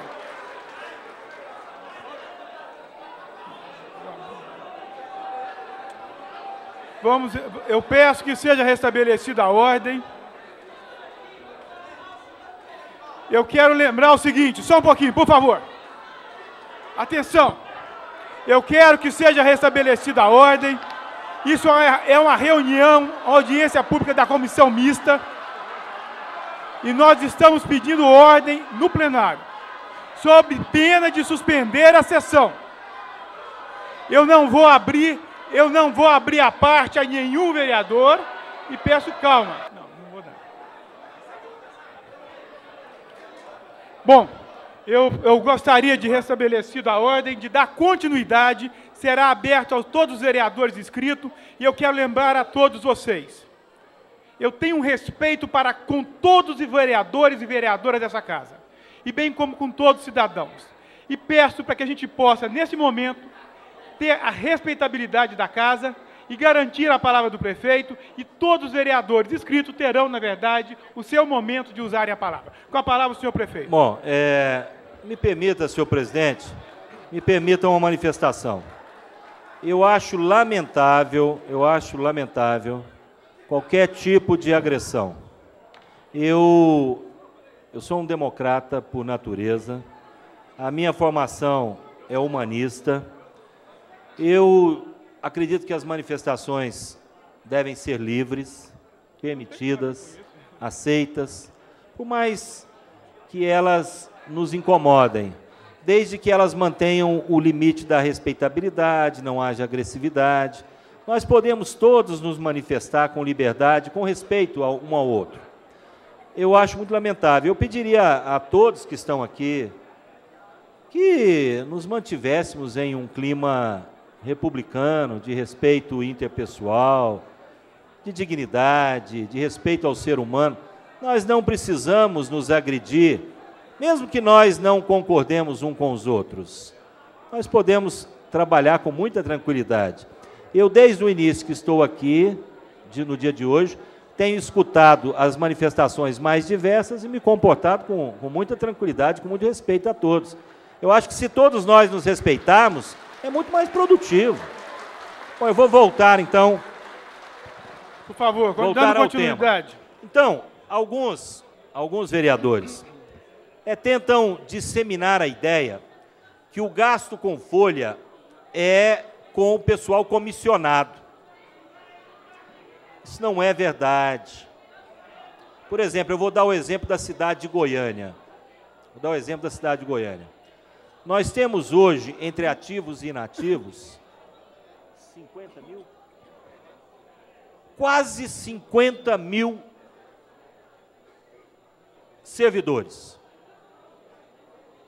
Desses quase 50 mil servidores, homens e mulheres, que ajudam a desenvolver Goiânia, dois, menos de 2 mil deles são os chamados cargos de assessoria em comissão. Menos de dois mil. Não há, e eu faço essa provocação aos senhores, faço essa provocação aos senhores, os senhores podem, eu não peço nem para que olhem o país afora, não. Olhem só o estado de Goiás, os municípios goianos e as outras e os outros poderes no estado de Goiás seguramente, seguramente, os senhores vão constatar que todos eles têm infinitamente percentuais muito mais elevados de cargos não efetivos. Portanto, não é o comissionado que avoluma a folha, não. É o trabalhador concursado mesmo, é aquele que trabalha, é aquele que passou em concurso. Essa é a realidade. Isso é importante a gente saber, porque senão a gente sai divulgando uma ideia que não é verdadeira. A verdade é essa. Se nós eliminássemos todos os comissionados, eliminássemos no sentido figurado, né? Se nós deixássemos de ter no município de Goiânia todos os comissionados, não mudaria muito a relação percentual do gasto com folha, não. É muito pequeno o que os comissionados ganham. Aliás, desses quase 2 mil, seguramente 80% são remunerados com o salário mínimo e as pequenas gratificações. São trabalhadores que exercem trabalhos mais basais. Então não é quem pesa na folha, não. Isso precisa ser dito, que as pessoas dizem por aí, ah, isso é gasto com comissionado, com apadrinhado político. Não é verdade. Não é verdade. Isso é só constatar. Aliás, aliás, aliás, vereador Giovanni, faça uma sugestão ao senhor, que é do PSDB, que é do partido que governa o Estado. Nós publicamos os salários nominalmente, o que cada um ganha, está no portal. Dê essa sugestão ao governo do Estado também, que faça isso. É por isso que nós lutamos, é pela austeridade, é pela austeridade é pela transparência. Eu estou me somando aos seus esforços pela austeridade. Porque, deixa eu dar um exemplo para o senhor. Deixa eu dar um exemplo para o senhor. Qual é, para que vocês entendam bem, vejam que eu me entende bem, como é que são as formas de governar. São as formas de governar. Isso é importante. Então, vereadores, é lógico que com essa demonstração ao longo da história da Prefeitura de Goiânia, sempre há credores e sempre haverá até que a repactuação seja feita. Nós vamos distribuindo os recursos de acordo com uma ordem cronológica de acordo com as situações. O senhor quer ver uma coisa? Eu ontem estive em Brasília. Um dos ministérios que eu estive foi o da Previdência Social. Os senhores sabem o que, que eu fui fazer lá? Eu vou contar aqui publicamente.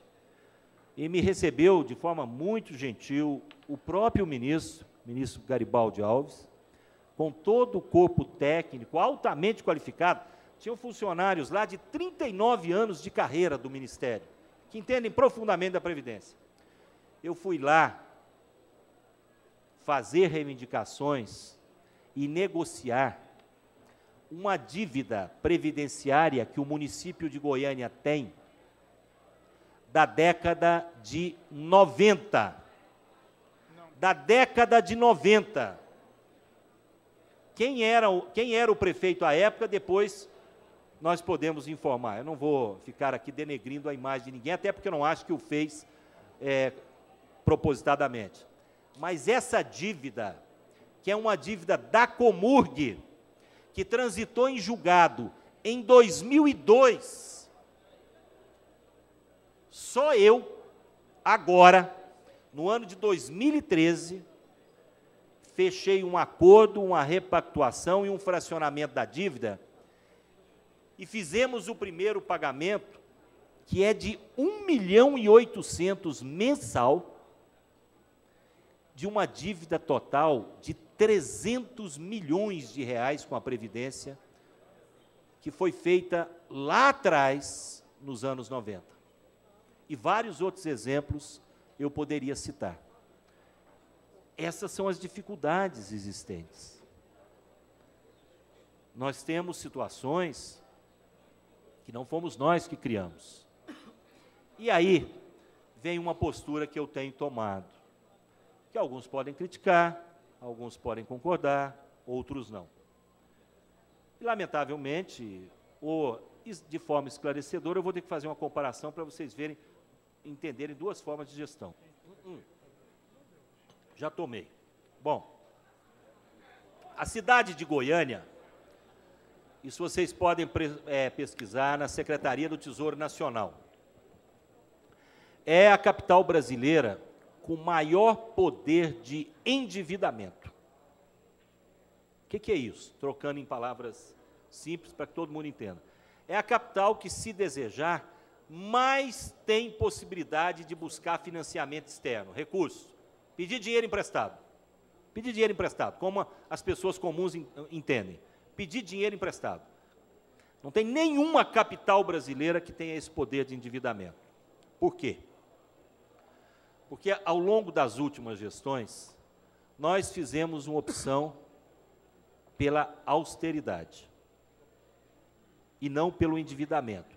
Não que o endividamento não possa ser necessário em algumas situações, mas ele, no nosso, na nossa forma de gestão, é a última opção. É o contrário, por exemplo, e aí eu tenho que citar, a gente tem que comparar para as pessoas entenderem. Eu não estou aqui em debate político eleitoral, em debate partidário é o contrário da situação do governo do Estado. O governo do Estado, a todo dia, e os senhores podem ver isso, busca empréstimos externos. Isso é extremamente perigoso. Até porque algumas propagandas demonstram uma riqueza e uma opulência do governo. Alguns secretários seus dizem que, em tese, a situação é dramática a situação é dramática do ponto de vista financeiro. E aí isso nos faz pensar que essa opção administrativa de endividamento máximo, que o endividamento do Estado é o endividamento máximo, máximo. O que será das futuras gerações e dos futuros gestores? Futuro governador, futura governadora, só vai pagar folha e empréstimo. Não vai ter dinheiro para mais nada. No município de Goiânia, nós não fizemos isso. Nós estamos trabalhando com austeridade. E hoje eu li uma, uma denúncia que o senhor teria feito ontem. Se não for a verdade, o senhor me perdoe, é que eu li no jornal. Nós já tínhamos detectado e tomado a atitude há aproximadamente 32 dias. Que em uma companhia, que é de economia mista, mas que nós somos município de Goiânia, haveria salário acima do teto constitucional, que o teto máximo, em tese, é o do prefeito. Isso é real. E tomamos uma medida de austeridade.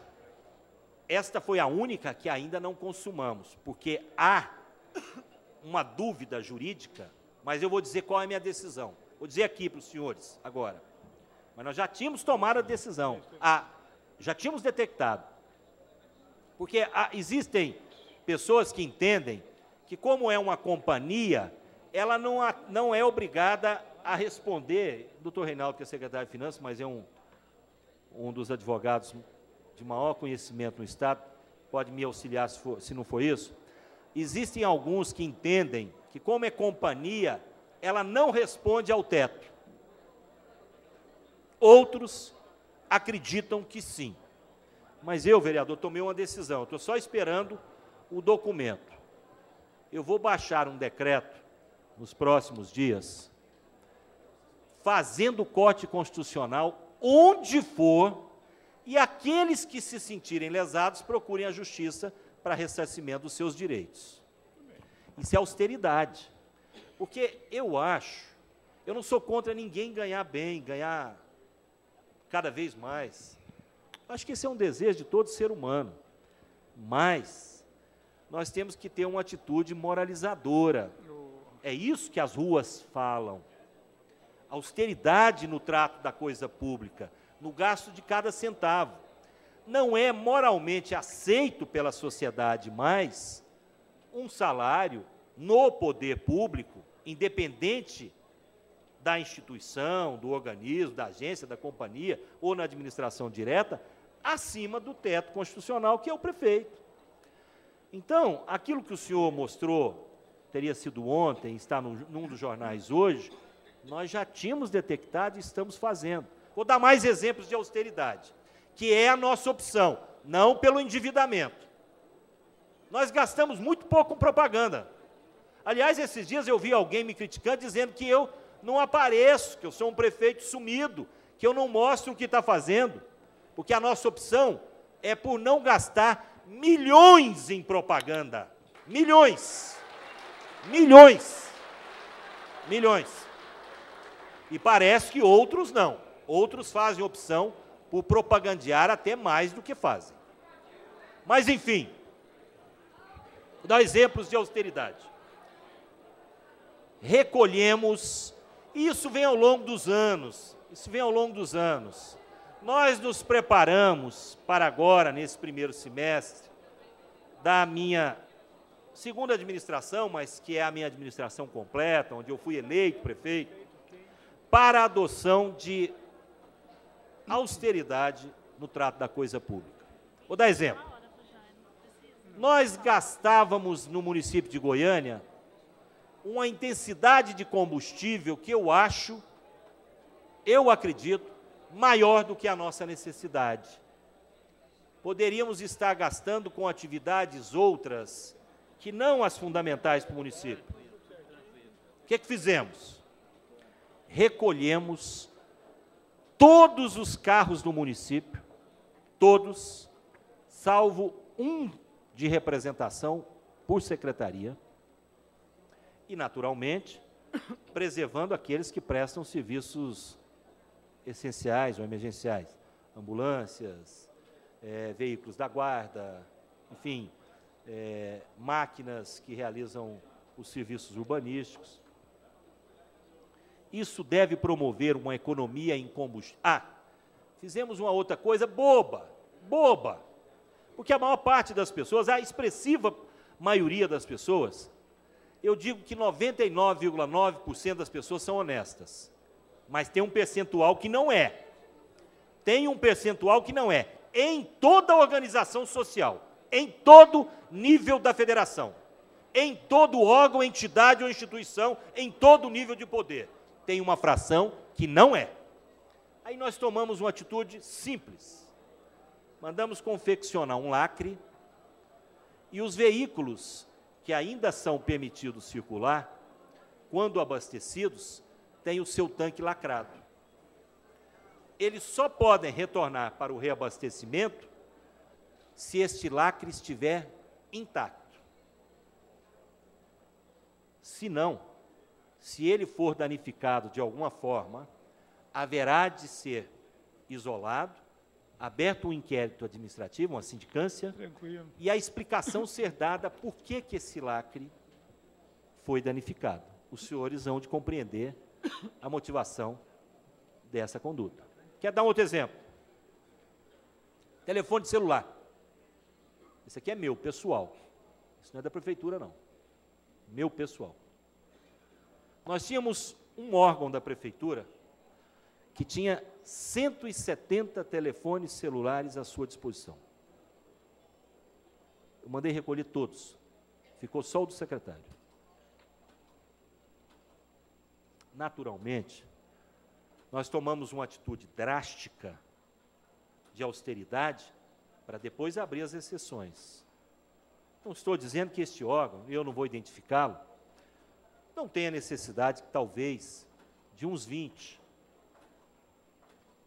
Mas há uma economia de 150 e com limite de gasto em conta. Sei, mas esse assunto é um assunto longo que eu acho que eu vou explicar muita coisa que os vereadores e vereadoras querem saber e precisam saber. Vou dar um exemplo: carro, telefone, telefone fixo. Vereadores, o que existia de telefone fixo nesse município? Nós mandamos bloquear todos, com exceção de um único em cada secretaria, que só pode ser autorizado a realizar ligações interurbanas, sejam nacionais ou internacionais, a trabalho do município e devidamente registrado, pedido por quem, realizado por quem e autorizado pelo secretário. É humanamente impossível para o prefeito vigiar cada telefone do- da prefeitura, pessoalmente. Mas, e é humanamente impossível até para os próprios secretários ou secretárias. Você precisa de ter austeridade, ter uma regra única e dura que permita o bloqueio e crie uma norma geral para que as exceções, que aí são possíveis de serem controladas individualmente, sejam liberadas. Então, estou te falando de telefone fixo, telefone móvel, carro, hora extra. Hora extra. Existem algumas funções na Prefeitura de Goiânia, exercida por alguns servidores, que necessariamente precisam de, de serem remunerados se eles efetivamente trabalharam hora extra. Mas nós precisamos otimizar o resultado. Nós sabemos, nós estamos fazendo um, um, um, um readequamento da gestão, na busca de uma gestão por resultados, transparente, séria, austera, que gera economia, que é bom para nós, que precisamos de dinheiro para investir em obras fundamentais, precisamos de dinheiro para pagar quem deve. Hora extra. O controle passou a ser pessoal, meu. Eu passei a controlar toda a hora extra da Prefeitura de Goiânia. Só autorizo eu, pessoalmente, hora extra em cada secretaria. Bom, eu não vou me estender mais, porque, naturalmente, o- toda hora o presidente está me dizendo aqui que tem vários inscritos. Mas o que, que eu quero dizer para os senhores? Nós, nós, e não é o município de Goiânia, são todos os municípios brasileiros, arrecadamos menos do que é necessário para nós. Arrecadamos menos. Mas fizemos uma opção: trabalhar com o que tem, com austeridade, preservando as gerações futuras. Se houver necessidade, em algum momento insuperável, da busca de financiamentos, nós o faremos. Mas nós temos tratado com muita austeridade esse tema, o que nem sempre é aceito ou feito por outros. É assim que nós estamos agindo. Muito obrigado, prefeito. Eu quero aqui, antes de passar para os próximos cinco inscritos, que é o segundo bloco, registrar também a, presença do excelentíssimo senhor José Eduardo, assessor especial para assuntos de direitos humanos, e também do secretário de Saúde, doutor Fernando Machado. Obrigado pela presença. Nesse segundo bloco estão inscritos os vereadores pela ordem. Primeiro, Virmondes Cruvinel, em seguida, Zander, terceiro, Djalma Araújo, quarto, Azulim e quinto, Tairone. É, por favor, vereador Virmondes Cruvinel. Senhor presidente, bom dia. Prefeito, bom dia. Demais secretários, obrigado pela presença. Primeiro, eu gostaria de elogiar a participação do prefeito, estar ouvindo também os vereadores, até porque a última vinda aqui, aqueles da comunidade que estavam presentes se recordam que foi muito rápida a passagem. Falou, foi embora, e isso não é saudável para a democracia. Já é um, um passo avante. Inclusive, nós apresentamos um projeto de lei, e eu peço a compreensão aqui que não seja tratorado da, de algumas formas como aconteça, mas que dê a oportunidade democrática e legítima, como eu sei que o prefeito Paulo Garcia é, de também ouvir os vereadores nessas apresentações de matérias orçamentárias, como também eu acredito que deveria e é pertinente ouvir os representantes da sociedade civil organizada, presidentes de associação de moradores e aqueles que estivessem presentes. Sugiro ao presidente da comissão isso. Ok. Mas, me atendo aqui ao nosso questionamento, até para ser objetivo, é, com relação a concursos públicos, prefeito. Nós temos aqui alguma comissão de aprovados.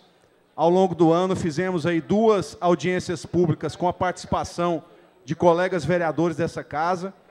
Sabemos, atendo aí ao aspecto legal, que o artigo 37 da Constituição Federal, inciso 2, trata da exigência de concurso.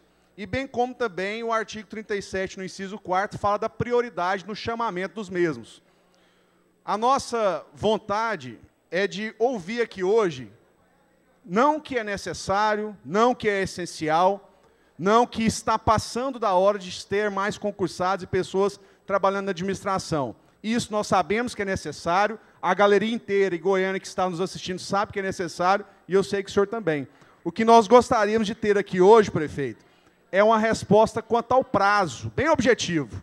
Nós vamos chamar tal dia, porque o secretário de saúde enviou um comunicado aqui, chamou algumas pessoas, só que fez o compromisso que até o fim de junho chamaria todos da saúde, não chamou. E nós temos os servidores administrativos que foram aprovados, nós temos servidores contadores, administradores, cargos de assessoria administrativa que buscam essa resposta. Então, objetivamente, eu gostaria de ouvir do senhor com relação a prazo para nomeação dos mesmos. Segundo questionamento, também com relação a prazo. Prazo com relação a alguns compromissos assumidos ligados à questão de construção de ciclovias na cidade e também com relação a recapeamento de vias. Tem algum prazo específico para ser entregue essas obras a partir de então?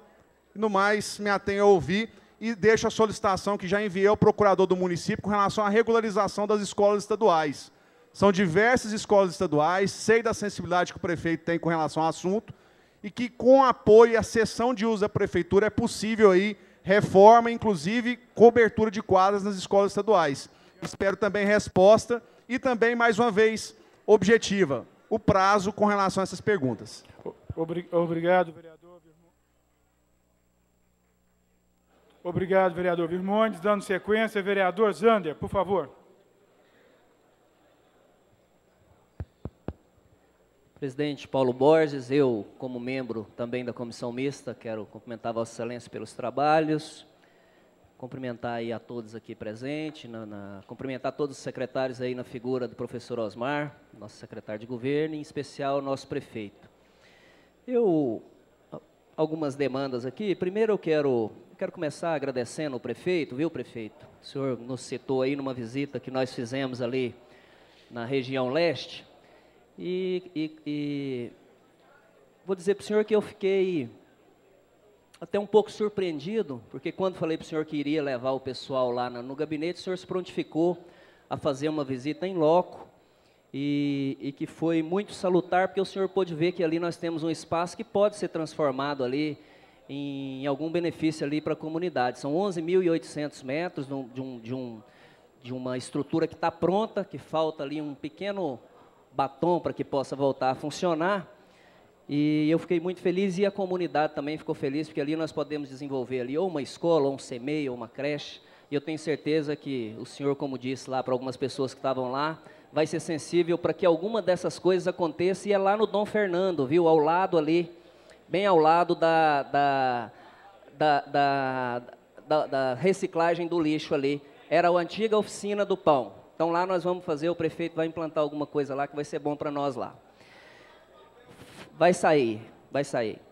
É, a pergunta que eu tenho também com relação à região, e ela vai passar depois pelo nosso procurador, doutor Carlos Freitas, e eu acho que está lá com o Neucivone, procurador, é a questão da finalização da regularização lá daquela região do Jardim Conquista, na qual nós participamos de uma reunião lá no Ministério Público. Depois, a, a, a seu tempo, se Vossa Senhoria pudesse estar nos respondendo. Outra pergunta para o secretário Luciano de Castro, que eu também já levei a demanda para ele, é a respeito do asfalto lá do London Park que é uma pequena área ali atrás do aterro sanitário, que Vossa, Senhoria também me disse que, que, que faz parte do programa de asfaltamento.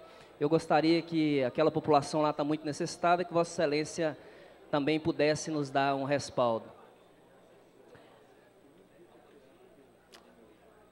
E também, prefeito, ontem foi aberto um edital, já viu, prefeito?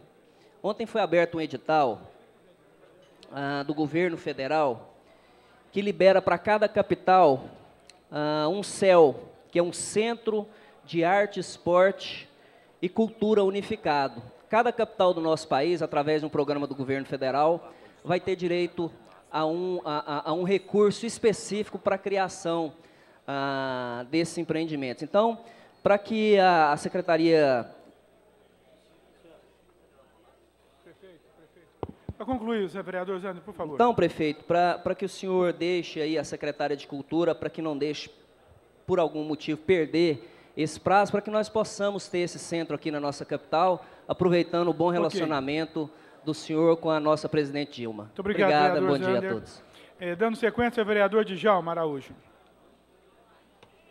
Senhor presidente, inicialmente cumprimentar a Vossa Excelência, cumprimentar o prefeito. Prefeito, com relação à austeridade, eu gostaria de fazer duas observações. Uma com relação a viagens e outra com relação ao uso do carro, dos carros públicos da Prefeitura de Goiânia. Talvez o senhor poderia estar economizando mais. Com relação a uma solicitação, eu gostaria de estar solicitando o senhor com relação ao concurso da Secretaria de Educação. Foram chamados alguns profissionais e há um apelo muito grande aqui das pessoas com relação a isso. Inclusive, alguém citou nas redes sociais a retirada da progressão é, de alguns trabalhadores. Uma outra reivindicação que eu faço, Vossa Excelência, é com relação ao plano de carreira da Guarda Municipal e dos agentes de trânsito que estão aqui hoje. Eu gostaria de fazer essa solicitação para o senhor. Com relação a outra reivindicação, é a saúde. População já não aguenta o sofrimento da saúde. Seria possível o senhor adiantar para a gente é, esse plano, esse pacote que o senhor quer apresentar para a população de Goiânia com relação à melhoria da saúde do nosso povo. E uma outra pergunta, gostaria que o senhor pudesse notar, é com relação emendas parlamentares. Cada parlamentar, hoje ele tem 8 milhões para fazer emendas para os seus municípios. Gostaria de perguntar para o senhor quais os parlamentares, o senhor está ouvindo? Quais os parlamentares que estão fazendo emendas no orçamento da União para o município de Goiânia, diante dessa figuração do Pacto Federativo? E quem são esses parlamentares e se realmente estão fazendo emendas para o município de Goiânia? Nós temos hoje uma bancada imensa de deputados federais e senadores. E, por mais, por enquanto, é, é isso. E eu gostaria de desejar ao senhor boa sorte. Muito obrigado. Muito obrigado, vereador Djalma, por sua participação. Vereador Pedro Zulão Júnior. Som, som. Também quero fazer o cumprimento ao presidente, vereador Paulo Borges, ao prefeito, a todos os secretários, a todos que estão aqui nos visitando. Senhor prefeito, eu tenho algumas perguntas, entre elas foi já perguntada pela vereadora Tatiane sobre o CEMEIO. Eu queria que o senhor mandasse para a Câmara o planejamento aonde realmente vai ser construído os 81 CEMEIOS aqui em Goiânia.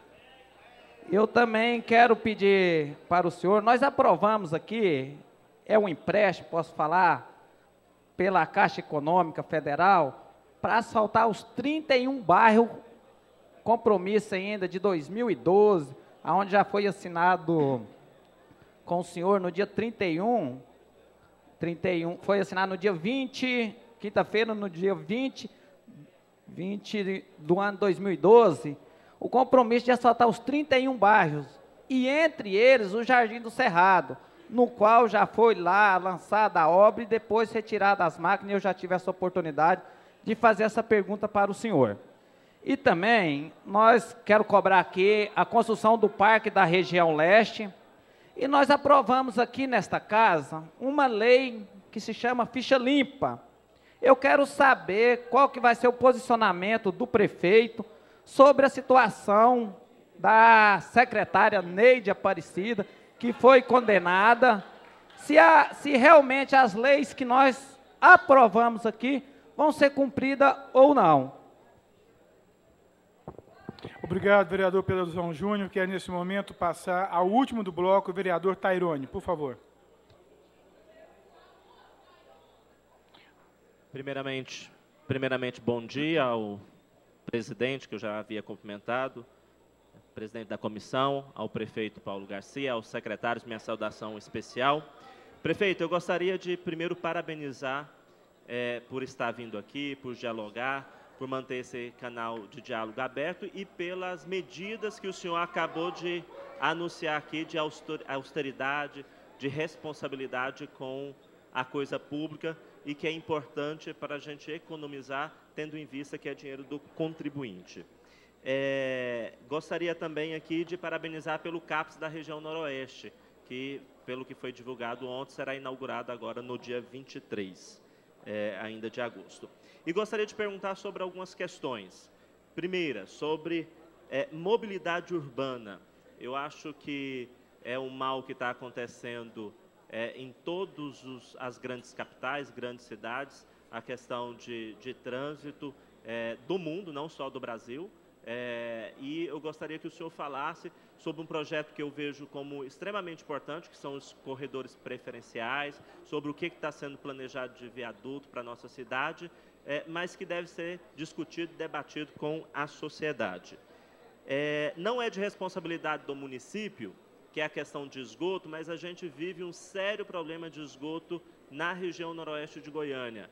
No Nova Esperança, Cândida de Moraes, Santos Dumont, o esgoto está suptando nas ruas. E o senhor pediu uma discussão aí é, sobre a possibilidade de municipalização da Saneago. Eu gostaria que o senhor falasse um pouco para a gente sobre esse estudo, sobre o que foi encaminhado, sobre todas essas questões.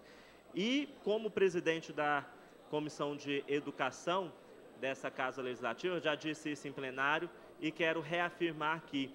Eu tenho andado muito nos CEMEIs, nas escolas, e a gente tem, é, por parte dos professores, dos educadores e da população, um elogio constante em relação ao trabalho da secretária Neide. Então, eu faço questão de citar isso aqui, porque ela, como qualquer pessoa, tem direito de se defender, o processo ainda é judicial, mas dizer que o senhor está é, de parabéns por ter feito uma escolha de uma pessoa que entende de educação para ficar na Secretaria de Educação. Então, gostaria de reafirmar isso aqui para o senhor. Obrigado. Obrigado, vereador Tairone. Com isso, nós completamos o bloco de mais cinco vereadores, passando a palavra ao prefeito para essas respostas.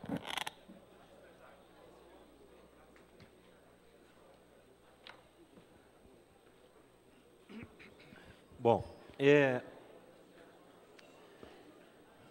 o vereador Virmontes abordou sobre os concursos públicos, o vereador Jalma também abordou. Eu não sei se os senhores não estavam no início, eu até respondi aquela senhora que está ali com aquela faixa, eu já respondi sobre esse tema. Mas para dar uma nova resposta aos senhores, eu posso dizer que os prazos que nós temos são os prazos legais, são de responsabilidade fiscal e o meu mandato de quatro anos. Esses são os prazos que nós temos para me cumprir tudo que eu falei, todos os compromissos que eu fiz. Eu tenho um mandato para cumprir tudo. É, vereador, sobre a, a, a, ciclovias eu vou falar na, quando eu responder sobre a mobilidade urbana, eu falo um todo. essa caneta já era. É, sobre vereador Zander, senhor abordou vários temas, mas eu vou aproveitar um deles, eu respondo também ao vereador Pedro Azulão.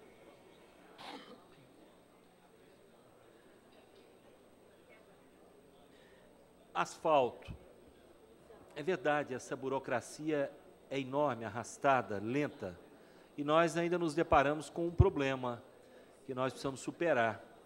Qual é o problema? O problema é que alguns dos lotes licitados, quem havia ganho esses lotes era a empresa Delta. E os senhores têm conhecimento que nós fomos o primeiro prefeito do país, a primeira autoridade pública desse país, a suspender todos os contratos com a empresa Delta. Porque havia um questionamento sobre a sua conduta, a idoneidade, a relação, republicana ou não. E o London está nesse pacote da Delta. Nós precisamos encontrar uma solução. Sobre os outros, eu quero dizer que o estamos asfaltando o Orlando de Moraes, estamos asfaltando o Vale dos Sonhos 2, tem lá um morador, eu acho que é morador, presidente da associação, é, estamos asfaltando.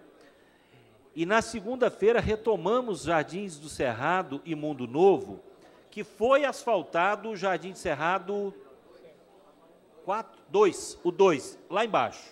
O 2 já asfaltei. Mas agora vamos asfaltar todo o restante. Está tudo liberado, a Caixa liberou. Então, estamos asfaltando Vale dos Sonhos 2, Vale do Sonho 2. Estamos asfaltando a segunda fase do Orlando de Moraes, que é o fim. E vamos agora terminar jardim, todos os jardins do Cerrado ainda não asfaltados e o Mundo Novo. E os outros, à medida que a Caixa nos libere a tramitação, que é uma tramitação que é quase uma via cruz, nós damos início. Esses recursos são, como o senhor mesmo apropriadamente disse, é, do PAC da pavimentação, parte OGU, Orçamento Geral da União, OGU, Orçamento Geral da União, e parte financiamento Caixa. Então, nós estamos fazendo o que é possível.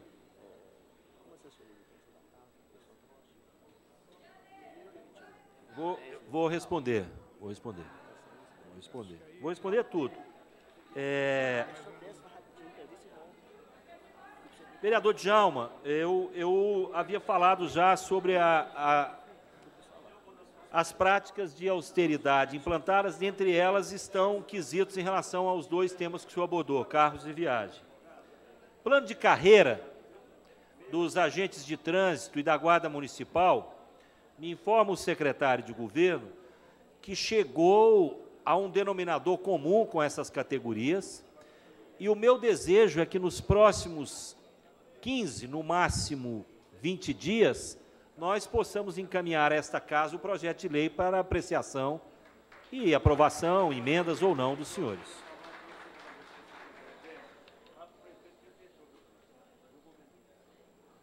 Sobre a saúde, o senhor me perdoe, eu não vou anunciar, não. Não vou adiantar. Eu não vou adiantar. Eu fiz um compromisso de fazer esse anúncio no sábado, lá junto com a comunidade da região sudoeste. Eu vou fazê-lo lá. Hoje já é quinta, depois de amanhã, pela manhã, eu farei o anúncio completo do pacote. Eu tenho certeza que o senhor responsável que é, vai aprovar a maior parte das medidas. Escolas estaduais, vereador Virmondes, é uma tratativa com o governo do Estado. É, nós temos que fazer a permuta. Tem muitos. Para que vocês todos entendam o que, é essa história de, de escolas estaduais que o vereador Virmondes aborda. É que nós temos, se eu não me engano, 33, acho que são 33, escolas estaduais que são construídas em terrenos municipais. Então, eles não têm a titularidade. O que, é isso? O Estado não tem a escritura, a mas a escola está lá, implantada. E para qualquer investimento com recurso da União, que a presidenta Dilma passou para o governo do Estado fazer, a presidenta Dilma mandou recurso para o governo do Estado construir, melhorar, reformar a, as escolas estaduais. Só que não podem ser repassados porque o Estado não tem a titularidade. Não tem titularidade. Agora, isso também acontece com o município. O município tem algumas unidades que estão em áreas estaduais, ou tem alguns equipamentos estaduais que o município tem interesse. Existe uma tratativa com a PGE, com a Procuradoria-Geral do Estado, que está sendo conduzido junto do nosso lado pela PGM, pela Procuradoria-Geral do Município, e pelo meu chefe de gabinete, o ex-deputado Irã, para que nós cheguemos a um denominador comum. Não depende só de mim.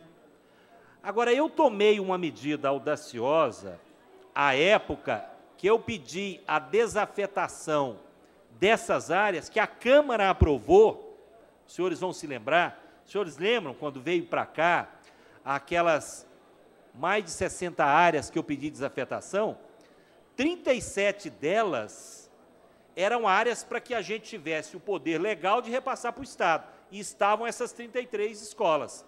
Mas a história os senhores conhecem, foi parar no judiciário, e o judiciário prolatou uma sentença me impedindo de movimentar os registros desses imóveis.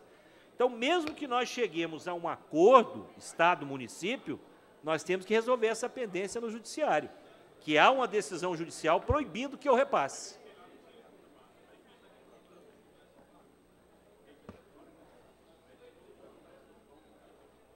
Planejamento do CIMEIS, vereador Perazulin, o senhor pode procurar a secretaria, que a vereadora Ney tem isso lá na mesa dela. O senhor pode ter acesso a todos, tem todos os CIMEIs, onde são, quando serão, que estágio estão. É só o senhor procurar lá, o senhor como vereador tem direito. Aliás, qualquer cidadão tem direito a isso, essa informação.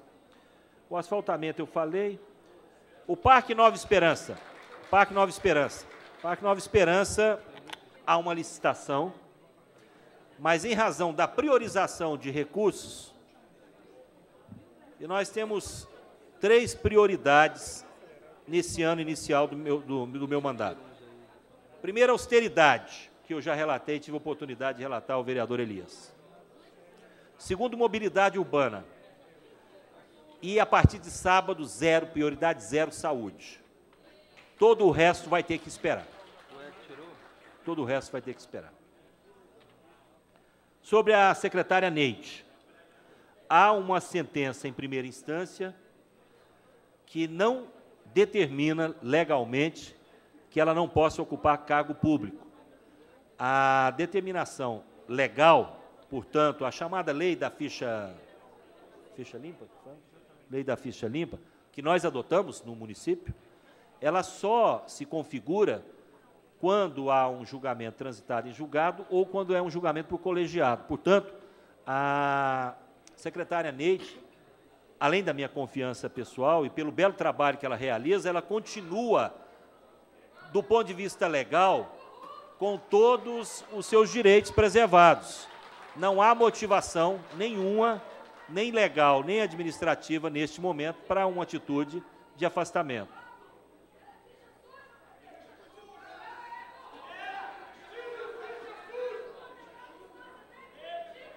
É... Bom, mobilidade urbana. Mobilidade urbana é um tema extremamente importante, viu, vereador Tairone? O que, é que nós estamos fazendo? Eu disse que é uma das prioridades. São vários modais. Né? É, mobilidade urbana não pode se discutir em um tema único. Nós estamos fazendo obras viárias, estamos fazendo asfalto, estamos fazendo viadutos, estamos fazendo túnel, novas avenidas, estamos tentando, com muito esforço, com recursos próprios, implantar o corredor TBA3. Agora, a novidade que eu tenho nessa área é que a presidenta Dilma destinou 50 bilhões de reais para o país inteiro para a mobilidade. Nós fomos convidados, não foi nessa sexta-feira, na anterior, a, a, uma reunião com o Ministério da Cidade, Ministério do Planejamento, como está sendo feito com todo governador de Estado e prefeito de capital. Nós fomos o décimo, eu acho, é pelo tamanho, né? Nós estivemos lá, o governador não esteve, mas esteve uma equipe do governo do Estado, é, capitaneada pelo secretário Zarat, em que nós fizemos, apresentamos as nossas reivindicações relativas à mobilidade. A reivindicação do governo do Estado não foi para Goiânia, a reivindicação do governo do Estado foi para a extensão de um BRT entre Santa Maria, no GDF, até Lusiânia. Não fez nenhuma reivindicação para Goiânia. Nós fizemos uma reivindicação e fomos a, de todas as dez capitais que tinham ido lá, só duas apresentaram projetos executivos. Portanto, se os recursos forem liberados, nós estamos prontos para usar o regime RDC, que pode ser usado, e dar a, a, a ordem de obra nos próximos 90 dias. Nós apresentamos seis projetos executivos prontos, do corredor T63, do corredor 85, do corredor T7, do corredor T9, do corredor da Avenida Independência, essa aqui, não a Independência lá do Faisalville, e, o que, que eu falei? 85, T7, T9, T63, Independência e 24 de outubro. Então, estão lá, são, nós pedimos 700 milhões de reais, são recursos do PAC, mas para esses corredores são mais ou menos 160 milhões. Nós temos a pré-informação que serão liberados. Se forem liberados, nós podemos iniciar esses seis corredores de uma vez. De uma vez. Na área de mobilidade, nós anunciamos, já está sendo implantado, a área azul em Campinas. Bom, ah, e, esse, e, e esses corredores, vereador Virmontes, todos têm ciclovias ou ciclofaixas. Né? É, nós estivemos em Campinas, último sábado, passado, passado, lançando o, o projeto da área azul de Campinas, que é uma consequência de uma. Alguém falou, eu já me perdoe, esqueci, sobre conversar com a comunidade, com a sociedade. Nós, temos, nós criamos o Conselho de Desenvolvimento Econômico, que na sua última reunião decidiu que o projeto mais importante a ser implantado era o, o estacionamento rotativo na área de Campinas. É, o parquímetro vem a seguir, é porque ele precisa ser licitado. Mas primeiro, era imediato, é fácil para a gente, nós aplicamos a área azul lá em Campinas. Foi uma decisão do Conselho uma decisão não, uma sugestão, que é um conselho consultivo. Esse conselho é formado pelas universidades, pelos conselhos de classe, pelas, representa pelas representações do setor produtivo, pelo fórum, a CIEG, FIEG, CDL, todo mundo está lá. E, e, obviamente, o município. Então, implantamos. Então, são vários os projetos que estão sendo implantados. Nós sabemos que é um problema. O passe nível estudantil é nessa área. Nós estamos trabalhando. Acho que ah, o vereador, é, o vereador Djalma me fez uma pergunta sobre qual, quais dos, dos parlamentares, é, eu imagino que o senhor tenha perguntado, da Câmara e do Senado. Isso. Foi isso mesmo. Eu não quero cometer injustiça. Vários têm é, repassado emendas para Goiânia. Vários. Alguns de bancada, não é? Por exemplo, tem um tradicional de bancada que é para a conclusão do Hospital de Clínicas da UFG, que todos participam. É, todos acabam passando algumas emendas. Isso é melhor consultar, eu acho que no, no na, no, no, na Câmara Federal e no, no Senado, porque eu não quero cometer injustiça. Agora, quem mais me procura, isso eu, eu tenho que relatar, e, e aí não vai também nenhuma apologia a partido, é a deputada Iris Araújo. É quem mais faz emenda para Goiânia, é ela. Agora, os outros também fazem, dentro das suas representações. Eu sei, de, eu estou me lembrando aqui da, da senadora Lúcia Vânia, eu estou me lembrando do deputado Rubens Ottoni, eu estou me lembrando o Jovaí como coordenador de bancada de uma emenda de bancada, não é? Houve uma emenda de bancada para a duplicação da BR-060 no trecho urbano de Goiânia. Né? Então, eu não, eu não quero ser injusto, é melhor o senhor constar. No, é melhor o senhor constar. Mas okay. todos, alguns não, mas alguns emendam para cá. Bom, dando sequência aos próximos cinco vereadores inscritos. Pela ordem, vereador Wellington Peixoto, Paulo Magalhães, doutor Bernardo, Célia Valadão e Tiago Albernaz. Por favor. Primeiro, Wellington Peixoto. Bom dia a todos e a todas. Cumprimentar o vereador Paulo Borges pela condução dos trabalhos, em especial o prefeito Paulo Garcia. Prefeito, primeiramente, parabenizado pela seriedade que o senhor vem conduzindo esses oito meses da administração aqui da nossa cidade. Uma administração com muita responsabilidade. Eu fui contemplado com uma pergunta do vereador Tarone sobre a mobilidade e aproveito cumprimentar pela implementação da área azul em Campinas. E sobre a segunda pergunta que eu, que eu queria fazer é sobre a saúde. O senhor disse que vai anunciar um plano sábado. Mas tem algum projeto de construção de um cais ali na região norte, especificamente no Tatiaia, São Judas, que é uma reivindicação antiga dos moradores ali daquela região? E uma pergunta para o secretário Luciano, que já estão fazendo um asfalto no Orlando de Moraes se há possibilidade de, daquelas pontas de rua ali, da, do Alice Barbosa, Xangri-Lá, serem atendidas com asfalto ali naquela região. Muito obrigado, vereador Wellington. Vereador Paulo Magalhães. Bom dia, senhor prefeito Paulo Garcia. Bom dia, senhores secretários. Bom dia, plenário, galeria, pessoal da TV Câmara e todos os canais de televisão que aqui estão. Prefeito, seguindo a sua proposta de mobilidade, em nossa campanha, eu estou aqui para reivindicar o do senhor a preservação do Jardim Botânico, onde nasce o Córrego Botafogo. Aquele parque, prefeito, está entregue à própria sorte há muitos anos. Eu gostaria de receber do senhor alguma notícia para que o Botânico seja realmente é, feito ali o alambrado, calçada, para que as pessoas, iluminação, área esportiva para que as pessoas possam usar aquele jardim botânico. Segundo, prefeito, gostaríamos de pedir ao senhor um dia por mês, não vamos falar toda semana, mas um dia por mês para atender os vereadores, mas que seja para atender os vereadores. Eu não sei se o senhor está notando, mas já tem uns três ou quatro final de semana que eu não estou indo na prefeitura. Então, gostaria que o senhor desse um dia por mês para que os vereadores pudessem despachar com o senhor. Gostaria também que o senhor é, ampliasse os mutirões, ao invés de uma vez por mês, todo final de semana, porque Goiânia está, está precisando urgentemente de uma recuperação no visual da cidade.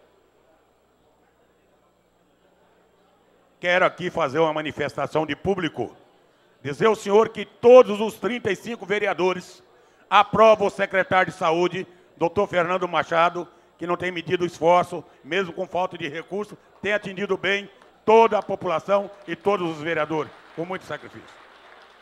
Não quero desfazer dos outros secretários. O senhor tem um bom time. Está faltando botar em prática, pessoal. Luciano, eu tenho ligado para ele, mas não está tendo tempo de me atender. Então, faça esse apelo. E para encerrar, seu prefeito, quero agradecer ao senhor por ter me atendido em todas as reivindicações. Pode falar o que quiser do senhor, mas o senhor merece o meu respeito como vereador do PV. Não sou da sua base, mas não sou daqueles que gostam de jogar pedra na vidraça quando realmente devia estar agradecendo pelo que o senhor tem feito. Quero aqui, em nome dos feirantes de Goiânia, pedir ao senhor que determine o, o secretário de Indústria e Comércio e o secretário de Fiscalização para que dê respeito aos feirantes com banheiros químicos limpos, com a fiscalização honesta e também com a segurança, prefeito. Essa é uma reivindicação. E aqui estou na minha mão, 428 assinaturas dos moradores da feira ao lado da UVG, da rua T38 com a T13. Eu espero, prefeito, que não cometa injustiça com aqueles pais de família que ali trabalham. Conclua, por favor, vereador. Quero agradecer ao senhor por essa oportunidade e gostaria que o senhor fizesse sempre isso. Vinha a essa casa para que pudesse ter um diálogo com nossos vereadores. Muito obrigado. Um Obrigado, abraço. vereador Paulo Magalhães. Dando seguida, doutor Bernardo, por favor. Bom dia, senhor prefeito. Bom dia aos componentes dessa mesa, aos secretários, aos nobres pares e aos demais aqui presentes. Senhor prefeito, não adianta nós queremos tapar o sol com peneira. Nós sabemos que a- realmente a saúde em- no Brasil, em Goiás, em Goiânia, está caótica. Nós estamos com falta de médicos, médicos mal remunerados. Nós temos eh, dificuldade no tratamento, falta de estrutura, falta de medicamentos, falta de insumos. E eu sei que isso não é culpa total do senhor prefeito, porque isso já vem de há muito tempo. Mas também nós sabemos que o senhor prefeito, que é do PT, tem uma, tem uma fidelidade partidária, mas tem um compromisso com a nossa presidente Dilma também, que é do PT. Mas, por outro lado, o senhor prefeito também é um médico. E médico, então, não pode ter essas afinidades políticas, mas sim desenvolver seu papel como médico. Aí eu pergunto ao senhor prefeito, como é que o senhor prefeito, qual é o seu posicionamento em relação ao ato médico? No Brasil, agora, qual é a sua posição em relação ao ato médico, em que dá direito a uma pessoa que é da área, da área médica a fazer diagnóstico e tratamento, que muitas vezes pode sair, por um lado, pelas culatas, um problema pior que ser um tratamento mal feito. Também em relação ao programa Mais Médico, se o país não tem estrutura, como é que vai dar pessoas que vai eh, conseguir fazer um tratamento sem ter estrutura para isso? E por último aqui, senhor presidente, senhor, eh, senhor governador, ah, digo, senhor prefeito, eh, médicos estrangeiros, que como é o caso de Cuba, com três anos estão formados, como vão chegar no Brasil e dar um co- condições para ele trazer um bom tratamento, se tem problema até no idioma. Então, eu queria ver, no caso específico do senhor prefeito, em relação à Goiânia, qual é a sua, a sua posição? Muito obrigado, doutor Bernardo. Vereadora Célia Valadão está nesse momento, a- por favor. Senhor presidente, bom dia, bom dia a todos os presentes, todos que nos acompanham pela TV Câmara, toda a imprensa. Cumprimentar todos os presentes aqui, os secretários. Bom dia, prefeito. Bom, eu havia feito uma relação de algumas perguntas aqui para o prefeito e justamente num dos pontos que mais foi falado aqui é em relação à mobilidade. E praticamente tudo que eu relacionei aqui já foi respondido na, na fala anterior de alguns vereadores. Eu quero apenas, neste momento, agradecer ao prefeito pela presença, agradecer também pela. Nós tivemos a honra de estar na Secretaria de, de Assistência Social durante algum tempo, e naquela época conseguimos ah, incluir o número de 172 educadores sociais no concurso que foi realizado pelo Recursos Humanos, e agora, nesse semestre, esses profissionais, esses, esses, esses concursados foram chamados e já estão integrados à equipe. Então, pra, não tive a oportunidade de agradecê-lo, para agradecê-lo por esse momento também, e dizer que nós estamos realmente assim ansiosos pela implantação da área azul em Campinas, uma vez que já vem sendo tratado e discutido por várias vezes eh, em vários momentos, tá? E agradecer ao senhor também pela honra de poder estar aqui representando e sendo líder do seu governo. Muito obrigada. Muito obrigado, vereadora Célia. Vereador Tiago Albernaz, por favor. Bom dia, presidente. Eu quero cumprimentar o prefeito, os secretários que lhe acompanham, a todas as pessoas que estão aqui conosco nessa manhã, a imprensa também.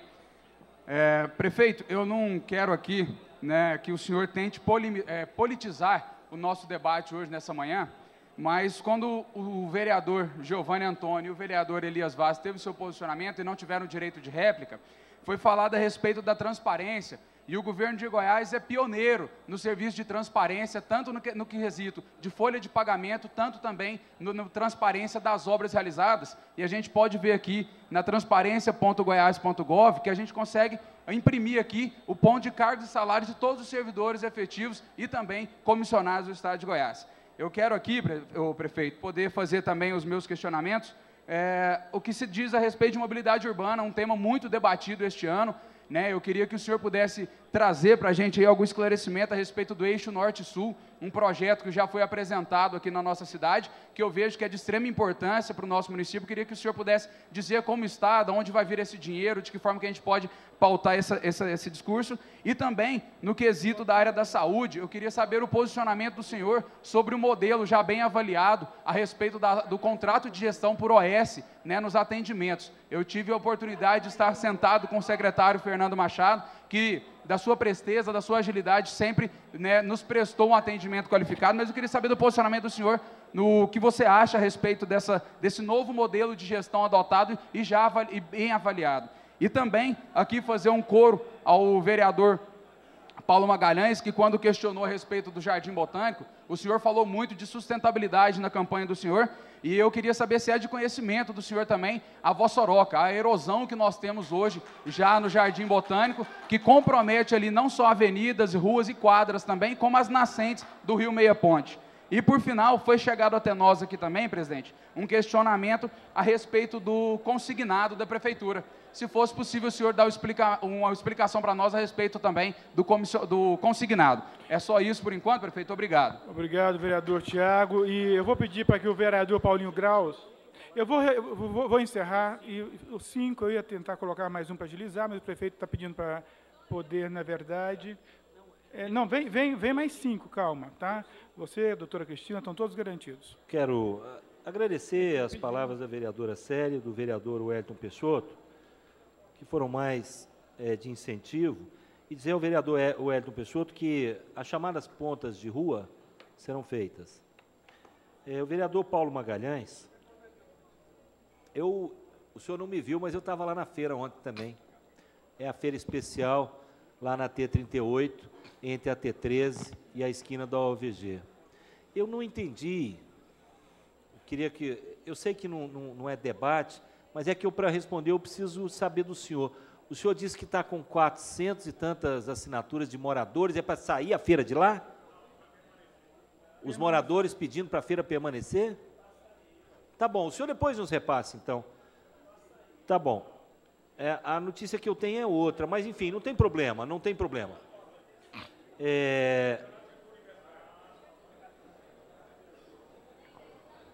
Sobre o Jardim Botânico, sobre o Jardim Botânico, nós temos em andamento a construção de um projeto que a Secretaria de Desenvolvimento Urbano Sustentável coordena, que vai ser um grande projeto de restauração e de requalificação urbanística daquela área. Agora, vereador Albernaz, Tiago. Eu, eu, não, eu não sei como o, o córrego Botafogo pode produzir alterações nas nascentes do Meia Ponte, como o senhor disse, as nascentes do Meia Ponte são lá em Itaúsu, é do outro lado, não tem, mas eu não entendi direito.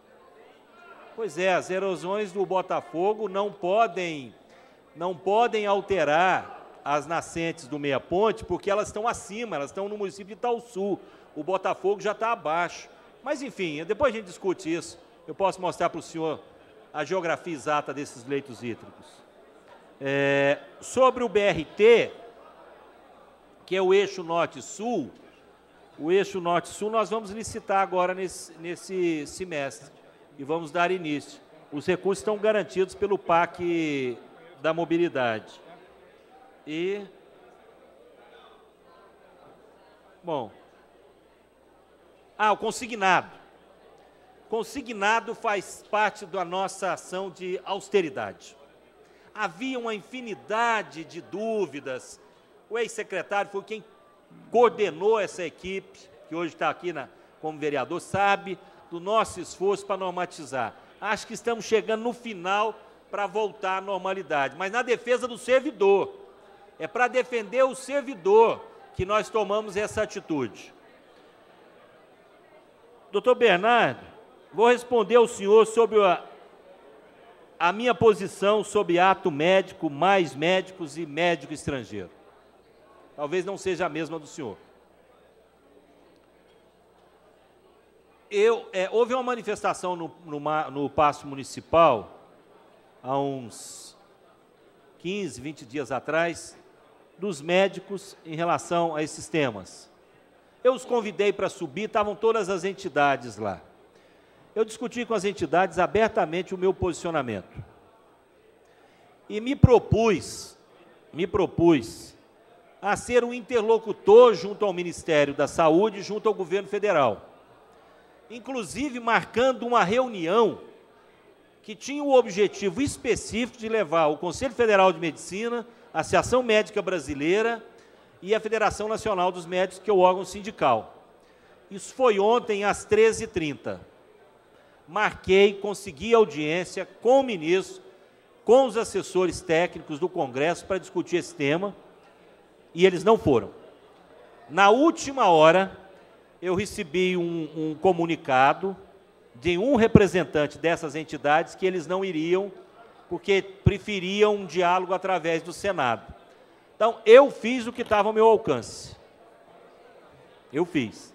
Propus o diálogo, conversei com o ministro, conversei sobre as soluções de intermediar um diálogo e um acordo, mas eles ontem me deixaram sozinhos conversando com o ministro. Pediram para mim, eu marquei Consegui audiência, não é fácil você conseguir uma audiência com o ministro, rápida assim, e eu fui e um pouco antes da hora eu recebi uma ligação que eles não iriam. Não posso fazer nada além desse esforço, que era um esforço político. Mas eu vou falar minha posição. Eu defendo o ato médico até porque a medicina precisa ser regularizada, ela é uma profissão não regularizada. Mas alguns vetos que foram apostos pela presidente, eles são necessários. Mesmo nós sendo médicos, nós temos que reconhecer isso. Eu dar um exemplo para o senhor. Lá no meio da Amazônia, que tem muita malária, quem é treinado para primeiro reconhecer os sinais e sintomas diagnósticos da, da comunidade indígena é um índio. E aí ele desencadeia todo o processo dentro do Sistema Único de Saúde que vai chegar no médico. Se nós impedirmos esse índio de fazer a primeira recepção a um membro da sua comunidade, se isso se tornar ilegal, o que, que vai ser feito dessas populações? Então, tem algumas coisas que são zelo exagerado das nossas representações. Precisa ter bom senso de, de liberar. Todo mundo sabe que o diagnóstico é feito pelo médico mas existem algumas situações, só aquelas previstas nos protocolos do Sistema Único de Saúde, em que a ação inicial pode ser feita por outros profissionais, é que são motivo do veto. Outras questões podem ser até acordadas. Então, não tem tanto problema assim como estão dizendo, na minha avaliação. Sobre o mais médicos. O mais médicos, eu falei aqui hoje, Inicialmente, o edital foi aberto para os médicos brasileiros. 15 mil vagas, vereador Anselmo. Sabe quantas vagas foram preenchidas? Menos de mil. 900 e pouca. E eu falei aqui, a cidade mais escolhida pelos médicos foi a cidade de Goiânia. 37, 33, 37. Vereador, o secretário de saúde está aí por aí? Né? 37. 37. Nós atendemos quase a metade da nossa necessidade. Médicos brasileiros. Então eu não tenho como me posicionar contra o mais médicos. Primeiro foi oferecido para os médicos nacionais, para os médicos brasileiros. Quem quis se inscreveu. Nós recebemos em tese metade, nós precisamos de 80. Eu quero sim, o município de Goiânia precisa de mais médicos. Sobre os médicos estrangeiros, eu defendo a seguinte posição, que ontem o ministro concordou comigo, eu falei com o ministro. Eu não sou contra a vinda de médicos estrangeiros para o Brasil. Não sou contra. Isso é um atraso pensar isso. O Brasil é a nação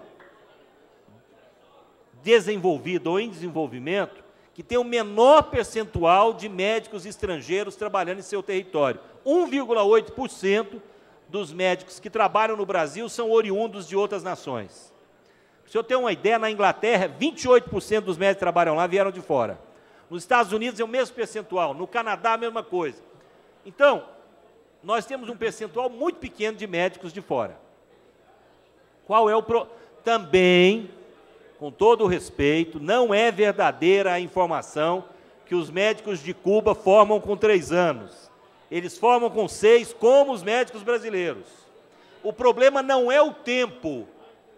O problema talvez seja a grade curricular, a conjuntura da saúde local que pode diferir, pode ser diferente entre nações, isso sim.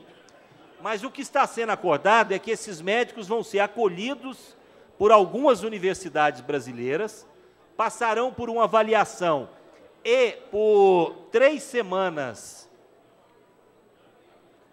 de testes, e só aqueles aprovados é que terão o registro para trabalhar por três anos só nos mais médicos. Porque veja bem, existem, existe um grupo que defende a revalidação do diploma tradicional, não esse sistema de, de avaliação e de registro. O senhor sabe o que, que vai acontecer através da revalidação normal? Que acontece? Revalidação normal, o senhor sabe disso, o senhor é médico como eu, eu, eu sou professor na Universidade Federal de Goiás, eu já fui responsável pela revalidação. Eu que analisava a época, isso já alguns anos atrás, eu que revalidava o, o, os diplomas de médicos estrangeiros que pediam a revalidação via UFG. Eu acho que eu me lembro do tempo que eu tive lá, eu tive nesse cargo uns três anos, eu revalidei dois diplomas. Mas o que, que acontece com a revalidação tradicional? Que pode ser solicitada por qualquer médico, de qualquer parte do mundo. Depois de revalidado, ele está livre para fazer o que quer. Ele não vai trabalhar no mais médicos, não. Ele não vai ser, ele não é obrigado a ser direcionado, por exemplo, para, a periferia das cidades grandes ou para as regiões mais afastadas do país. Ele é livre para ir para onde ele quiser. Então, esse modelo já existe. Agora, esse modelo não pode ser adotado pelo mais médico, porque o mais médico tem que ter um direcionamento exclusivo para as populações carentes que não têm médico. Então, por isso é que foi criada essa modalidade. Agora, eu concordo, nisso nós temos concordância, que eles precisam ser avaliados. Precisam passar por avaliação e por complementação de formação, se necessário for. Não são só médicos de Cuba, Há algum preconceito por parte de alguns com Cuba, eu não sei por quê. Talvez seja por posição ideológica, porque Cuba tem um sistema educacional dos melhores do mundo. Mas não é só Cuba, é Cuba e a Europa também, é Espanha, é Portugal, são países europeus. Agora, vejam bem como a preocupação às vezes é descabida ou desproporcionada. Para médicos brasileiros foram oferecidos 15 mil vagas apareceram menos de mil. O senhor acha, aqui entre nós, que é fácil trazer 6 mil famílias de fora do país assim num estalar de dedos? Não é. É um processo lento. Isso é outra cultura, é outro país. É, é difícil, é difícil. Se viessem 6 mil médicos estrangeiros, o senhor sabe, na média, quantos vão dar para cada município brasileiro? Paulinho está certo. Um. Isso não vai, não vai, com toda a franqueza, nós somos médicos, atrapalhar, atrapalhar nós, médicos brasileiros, a trabalhar. Não vai atrapalhar. Eles vêm para ajudar. Então, essa é a minha posição. Está claro? Obrigado, prefeito. Dando sequência, vereador Paulinho Graus, por favor. Em seguida, a doutora Cristina. É, bom dia, senhor presidente, bom dia, senhor prefeito. Quero, nesse momento, cumprimentar duas grandes obras, que o senhor já falou dela, de mobilidade. Entre elas, eu quero relacionar o eixo Norte-Sul, que sai da, da Avenida Rio Verde e vai a, até o Balneário Meia Ponte. Uma obra destinada, o dinheiro do PAC, da mobilidade, 210 milhões, que o senhor colocou aí, que é, esse semestre vai estar licitando. E eu vi até o projeto, o projeto está pronto, quero cumprimentá-lo. Cumprimento também o projeto também do viaduto da BR-153, da rua 117, que vai tirar aquele fluxo da região leste sobre a BR-153, na CELG, que o senhor, o senhor até falou que é da Eletra. Então, o projeto já está pronto, já está em fase de licitação. Mas eu queria pedir duas coisas para o senhor. A primeira coisa seria a possibilidade de a, a, maior agilidade, eu sei que é difícil, mas do eixo norte-sul, porque a região é, norte precisa daquele viaduto da Goiás, que eu já conversei com o senhor várias vezes, da Goiás com a, com a perimetral norte. Ali está sendo o, o gargalo mais grave de Goiânia, aquele viaduto. Então, a agilidade desse, desses recursos do Pacto da Mobilidade, desses 210 milhões, traria a, a, a formatação da gente trazer esse viaduto aqui. E o segundo era um pedido, porque a, a concessão de água e de esgoto de Goiânia pertence ao município. O município cede ela ao Estado através da empresa Saneago. E, e, e os aumentos de água e esgoto dessa empresa, que pertence ao Estado, não são comunicados ao município, através do município, do prefeito, através da Câmara, que tem competência de fiscalizar isso. E eu queria colocar o senhor, pra, junto com a Câmara, com os colegas, para a gente tentar conseguir que a, a Saneago passe essa comunicação, essas informações dos aumentos de água e esgoto ao município. Inclusive, que a Saneago também coloque o 0800, que não existe. É o único órgão público que não existe o 0800. Lá é o 115, que se tiver rompido uma adutora na rua, a pessoa for no orelhão, discar 115 e não vai completar a ligação. É a única empresa, precisa do 0800. Então eu queria, através do intermédio do senhor, para a gente cobrar, porque o município deu a concessão para a Saneago e nós temos o direito de cobrar essas melhorias e essas qualidades de vida para a nossa cidade. Obrigado. Obrigado, vereador Paulinho. Vereadora Cristina, por favor. Bom dia, senhor prefeito. Bom dia, telespectadores da TV Câmara. Bom dia a toda a imprensa. Bom dia à população que ocupa as galerias dessa casa. Essa é uma atitude que realmente vai trazer mudanças definitivas para a política brasileira. Gostaria de cumprimentar todo o secretariado do Executivo Municipal, em nome das secretárias Adriana Corse, Tereza Cristina e Glacia Antunes. Bom, as minhas perguntas são bastante pontuais e bastante diretas. Eu gostaria de começar pela LOA, né, o questionamento da lei de orçamento, que foi apresentada aqui nessa casa, vários colegas vereadores apresentaram, é, foi avaliada criteriosamente pela comissão mista, e eu gostaria de saber qual a disposição do município em garantir essas emendas é, na lei de na LOA. É, essa, é, eu, como presidente da Comissão de Direitos Humanos e Cidadania, fiz um chamamento da população, das, da organização civil, que trata questões do adolescente, da criança, dos dependentes químicos, da diversidade e dos idosos. E as minhas emendas foram apresentadas baseadas nessa avaliação através da organização da sociedade civil.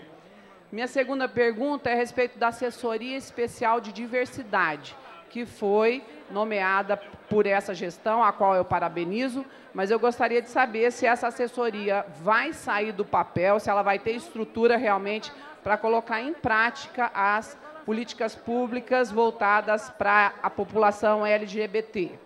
Gostaria também de saber é, se existe um calendário da prefeitura, repetindo aí é, as perguntas de outros colegas, sobre o chamamento dos concursados públicos. Há quatro meses é, foi publicado no Twitter do senhor prefeito que seria feito o chamamento da educação de imediato. Isso tem quatro meses. Gostaria ainda é, de identificar que o Estado ele aplicou 12,8% do seu orçamento na saúde na, no exercício de 2011 e 2012. É, o secretário Fernando Machado, o secretário Antônio Faleiros, eu venho tendo audiências contínuas com esses secretários, tecnicamente capacitados, que buscam uma solução mas a gente sabe da dificuldade, mas eu gostaria de saber qual é, é o orçamento do município.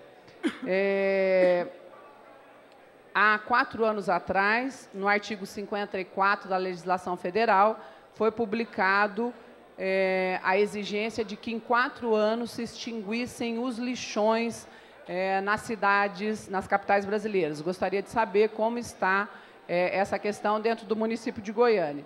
É, e o Plano Municipal de Gestão Integrada dos Resíduos Sólidos, que foi previsto em lei. Para concluir, por favor, doutora Se Cristiana. tem previsão para isso sair do papel. Ok. E, fi- e fi- finalizando, né, é, se vai fazer valer a lei sobre o confinamento e assegurar todos os recursos alocados no Fundo Municipal de Assistência Social, permitindo que a população tenha rigor no controle desse- do uso desse fundo, com informações transparentes e permanentes. E aí passa a questão do CRAC, que infelizmente nada de concreto, através da Secretaria de Assistência Social, ainda foi feito. Obrigado, vereadora. É, agora, ainda dando sequência, vereador Davidson Costa, eu pediria que todos agilizassem em decorrer do tempo. Senhor presidente. Garanta som, por favor, ao vereador Davidson. Senhor presidente, bom dia, nobres secretários. Cumprimento a todos da mesa, dos secretários, na pessoa do secretário Osmar Magalhães. Cumprimentando Sua Excelência o prefeito de Goiânia, Paulo Garcia. Cumprimento os nobres pares, vereadores, vereadoras e quem está na galeria, quem nos assiste pela TV Câmara. Senhor presidente, em primeira mão quero parabenizar a presidência da comissão mista e o prefeito pela coragem de vir debater os temas aqui no plenário. Porque nos últimos anos as reuniões foram feitas lá naquela comissãozinha para ninguém participar. Então, se vocês estão aí participando, é, cobrando e debatendo, é porque o prefeito foi corajoso de vir debater dentro do plenário, porque antes era feito uma salinha ali, ó, escondida. Segundo, senhor presidente, eu quero Quero parabenizar o prefeito por ações que têm mudado a cara do nosso município. Eu, por muito tempo, alguém me viu aqui, sempre eu critiquei a prefeitura, critiquei a ação do prefeito, mas, em parte eu estava certo, em parte eu estava errado. Mas é difícil é você criticar quando você está do lado de cá, quando você assume a caneta, como o presidente é, Clécio Alves assumiu, hoje eu sei o que, é que ele está passando. Então você sabe qual que é a responsabilidade que você tem com a lei de responsabilidade fiscal, lei de improbidade administrativa, com o menor funcionário, com o maior funcionário do município de Goiânia. Com aquele que mora lá na periferia, mas com aquele também, o grande contribuinte, ele tem a responsabilidade. Então eu quero parabenizar o senhor por algumas ações que não foram citadas aqui. Redução do ISTI. O senhor peitou algo que mais de 20 anos ninguém teve coragem dos prefeitos fazer. Reduzir o imposto de transição de imóveis. A imunidade tributária para os templos religiosos. O som do vereador Davidson está garantido. Imunidade tributária para os templos religiosos de qualquer denominação. Aprovou, sancionou agora. Uma lei de nossa autoria teve coragem e sancionou. Que é o terceiro setor, que ajuda na condução das cidades, que ajuda na administração do município, que são as igrejas católicas, espíritas, é, batista, cristãos, muçulmanos. E o senhor foi corajoso e os imóveis, hoje, os bens, são isentos de tributo, de IPTU e de ITU. Estou concluindo, senhor presidente, calma aí. Quero parabenizar o senhor, certo? Pela criação do polo industrial, que o artigo 226 foi nós que colocamos no plano diretor.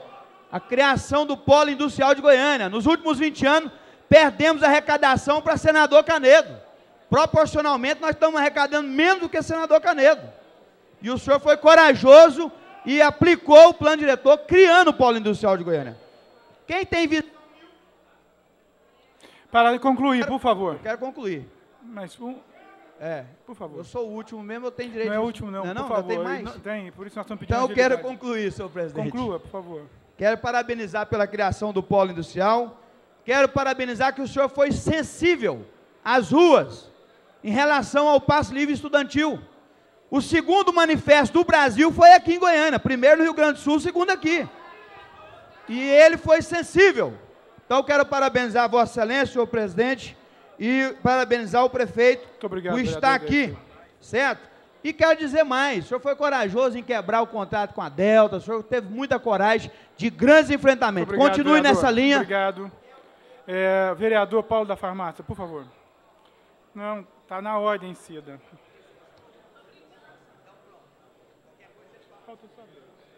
Bom dia, bom dia. Bom dia, senhor presidente.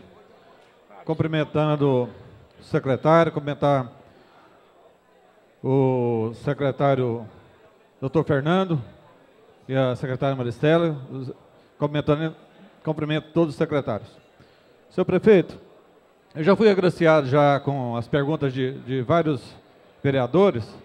É, eu queria só acrescentar, já foi feito também, então uma pergunta para responder, a questão do, do viaduto da, da região norte, né, na, na Goiás com a perimetral, e a conclusão da, da Goiás Norte, né, principalmente ali ligando o Balneário Meia Ponte ao Recanto do Bosque, que é uma cobrança, Deus, da, da gestão do Pedro Wilson, e até hoje não foi realizada essa obra. E queria também, é, fui agraciado com, a- com as perguntas também da Tatiana, do Azulinha, a respeito dos CIMEIs, e eu tenho certeza que Vossa Excelência vai cumprir, é, fazendo os 81 CIMEIs e adequando a Lei Federal 8.064, no artigo 4 que toda criança tem acesso à escola gratuita e perto de sua casa. E o senhor concluindo esses, esses e-mails, tenho certeza que o senhor vai ser um dos primeiros prefeitos a dar adequando ao Estatuto da Criança e do Adolescente. E queria também agradecer, levei ao senhor a necessidade de estar criando, estar criando mais conselhos tutelares para Goiânia. E o senhor foi muito sensível e pediu para que eu formulasse é, um estudo, né, para tá, o senhor estar mandando para essa casa, para a gente estar aumentando o número de conselhos tutelares em Goiânia, é, adequando a lei federal. Muito obrigado, senhor prefeito, pela sua presença e pela como o senhor vem conduzindo os trabalhos nessa casa. Obrigado. Obrigado, companheiro Paulo. É, penúltimo inscrito, pre- é, vereador Fábio Lima. Som, vereador Fábio Lima, por favor. Senhor presidente dessa sessão, senhor prefeito, senhores secretários, todos presentes nesta casa, imprensa. Eu já fui contemplado em parte pela fala dos nobres colegas, mas eu ainda quero reafirmar, senhor prefeito, a questão da saúde. A população tem dificuldade em conseguir atendimento no teleconsulta, a falta de UTI, que eu sei que será contemplada nesse pacote da saúde. Mas também uma das nossas preocupações são os 900 moradores em situação de rua. 33 foram mortos nesta madrugada, mais três foram esfaqueados. Na manchete do jornal hoje, violência sem controle nas ruas e no popular, calçada da Câmara vira boca de fumo. Apresentamos ontem Apresentamos ontem, senhor prefeito, um projeto Bom Samaritano, que é um consultório permanente para reinserção psicossocial dessas pessoas em situação de rua, que eu peço o vosso apoio. E, senhor prefeito, ainda reafirmando a questão dos CIMEIs, eu queria fazer uma solicitação para que as reformas dos CIMEIs da Vila Pedroso, Vila Santerela, Santos Dumont, Recanto das Minas Gerais, que está parado, e o Grande Retiro. Muito obrigado, senhor prefeito. Obrigado, vereador Fábio. Vereador Cida Garcês, por favor. Som para a vereadora. É, bom dia, presidente. Bom dia, senhor prefeito. Bom dia. Eu queria falar, prefeito, meus secretários, né? Bom dia aos meus secretários que estão aqui presentes. Bom dia ao público que nos visita. Bom dia à TV, à TV Câmara. Bom dia à imprensa que está aqui. Senhor presidente, é, senhor prefeito, eu gostaria é, de pedir que se colocasse em, plá- em plá- em- em prática o plano diretor, onde eu solicitei e foi aprovado, é, seria o quê? Faixa de pedestres texturizadas, que são para os portadores de deficiências visuais, estar ali fazendo a sua travessia com tranquilidade. No mesmo tempo, rebaixamento, o rebaixamento dos cruzamentos, para o cadeirante, aquela pessoa que usa muleta, também não ter dificuldade da, daquela... do- da- porque quando a gente usa cadeira de roda, eu usei por um tempo, o mínimo que seja a diferença da calçada para a rua, é muito difícil a gente fazer a cadeira subir sozinha, né? Então, por isso que é um dos motivos que eu peço rebaixamento ali da, da- dos, encontros cruzamentos. Também, senhor, preside- eh, senhor prefeito, eh, eu falei de sinaleiro sonoro, falei de sinaleiro sonoro e dos sinaleiros sonoros também. Por quê? Por portador de deficiência visual também para ele não ficar dependente, né? Da, da pessoas estar ali atravessando. Se bem que para mim é um prazer sempre atravessar alguém. Mas é importante ele ter independência também de ir e vir. Então eu gostaria que isso fosse atendido assim, na maior urgência possível. Inclusive, é, senhor pre, prefeito, além dessa faixa texturizadas, também aonde tem árvores, onde tem telef telefones públicos, porque eles vão ali, eles não sabem o que, que tem, às vezes dão de cara com um orelhão, né? No segundo instante, é, eu vi alguém falando da questão da feira do, ali da, da UVG, o problema ali da feira da UVG não é que eles querem que retire a feira, eles querem os banheiros químicos, porque os mesmos, por não ter os banheiros químicos, fazem suas necessidades ali nos muros, né, dos prédios, onde ali fica um cheiro muito ruim. E eu, como representante dos feirantes do estado de Goiás, eu encaminhei ao senhor um requerimento solicitando que fosse colocado banheiros químicos em todas as feiras especiais e as feiras comuns. Então, esse é o mínimo é, que as pessoas precisam para poder trabalhar e, quando tiverem suas necessidades, ter um lugar correto de fazê-lo. É, para terminar, senhor, pre, é, senhor, prefeito, nós estamos, querendo ou não, já está chegando o Natal. Né? É rápido, daqui quatro, cinco meses já vem Natal, as ruas vão estar empolvorosas, as pessoas saindo, fazendo compras. E eu, eu gostaria de solicitar ao senhor o parquímetro, com urgência. Deixa concluir, por favor, a vereadora Cida Garcês. O parquímetro, porque principalmente ali em Campinas, a grande dificuldade das pessoas. Então, ali tem um tempo certo, a pessoa fica e vem embora, não só em Campinas, em todo o nosso município, para agilizar o nosso trânsito. Muito obrigado, vereadora. Eu, prefeito, era para ter encerrado, mas eu tenho que corrigir um erro dessa mesa. É, eu pulei aqui, sem querer, o vereador professor Divino. Peço desculpa e, por favor, para que ele possa ser o último vereador a formalizar a pergunta ao prefeito. Bom dia, senhor prefeito Paulo Garcia, senhor presidente Paulo Borges, nossos colegas vereadores, todo o secretariado, a imprensa, a TV Câmara e todos que estão presentes aqui na nossa galeria. Senhor prefeito, nós sabemos o quanto é árdua esta função que o senhor abraçou. Mas eu vejo o esforço que o senhor tem feito para estender os benefícios a todos. Vimos através de seus esclarecimentos aqui hoje que a prefeitura é, tem feito esforço na busca de soluções para os problemas da cidade de Goiânia, apesar de poucos recursos. Então, parabenizo o senhor é, pelo passe livre para os estudantes, pelo investimento na educação, na saúde e pelo pronto atendimento é, nas nossas reivindicações. Acredito que há muito a fazer pela nossa cidade, mas eu sei, senhor prefeito, da sua boa vontade e acredito no senhor, na sua competência e também de toda a sua equipe. Um abraço e boa sorte, prefeito. Obrigado, vereador Domingos. Desculpa o erro aí na hora de poder nominá-lo.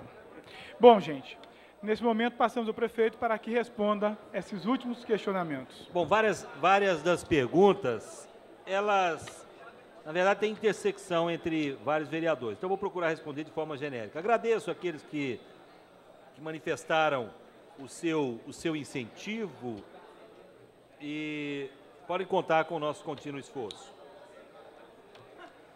É, vereador Fábio, essa proposta do senhor de um atendimento de rua solidário, que a vereadora doutora Cristina também abordou a preocupação, nós já temos duas equipes chamadas de consultórios de rua. Nós fomos a primeira capital brasileira, aliás, a primeira cidade brasileira a formalizar a adesão ao Plano Nacional de Combate à Situação de Vulnerabilidade das pessoas que vivem em situação de rua. Esse é um processo que eu imagino lento, é um processo que nós temos que trabalhar todas as forças sociais para que nós possamos conseguir mitigar o problema dessas pessoas que vivem em situação gravíssima, em situação de uma perda da dignidade humana na sua mais totalidade de expressão. Nós temos nos esforçado, mas não é uma solução simples, não é uma solução que será alcançada só pelo Poder Municipal, Nós precisamos somar esforços. Os, o, os poderes públicos, a, a sociedade como um todo, mas nós estamos à disposição para debater com os senhores sobre esse tema. Nós fizemos, inclusive, recentemente, por minha determinação, uma reforma completa na casa de acolhida, que estava em condições extremamente degradadas. Agora os senhores podem visitá-la, podem ver que houve uma melhora significativa. Eu penso, inclusive, que não de forma segregacionista ou preconceituosa, mas nós devemos criar espaços segregados para homens, mulheres e famílias nessa situação para acolhimento público. Nós estamos trabalhando por isso. O parquímetro, viu, vereadora? Cida. Vereadora, Vereadora Cida. Cida Garcês? Cida. É, nós estamos trabalhando para licitar o parquímetro. Não vou abrir. Imediatamente. Assim que o estiver pronto, nós vamos marcar. Sobre a Saniago, eu quero dizer àqueles que se manifestaram que a nossa comissão concluiu o seu relatório e que as opções que me foram apresentadas vão desde o atendimento, algumas demandas da cidade de Goiânia, a preocupação social que a cidade de Goiânia tem com a Saniago. A Saniago não pode se tornar outra CELG. Vejam o alerta que faço aqui hoje. A Saniago não pode se tornar outra CELG. Ela foi construída com o esforço do trabalhador e da trabalhadora goianos. A Saniago precisa ser tratada como todas nós, por todos nós, com extremo carinho e cuidado. Ela, ela trabalha com uma área extremamente sensível, que não é só de água, mas também de esgotamento sanitário. Nós sabemos que o subsídio cruzado, que é faz parte da receita da Saniago, das tarifas que são cobradas na cidade de Goiânia, são fundamentais para que investimentos nos outros 245 municípios goianos tenham atendimento. Portanto, nós queremos tratar esse tema com diálogo, com transparência e que as necessidades de Goiânia também sejam atendidas. Mas existe até o limite de uma ruptura contratual. Mas não é nosso desejo. Nosso desejo é o diálogo republicano, transparente e democrático.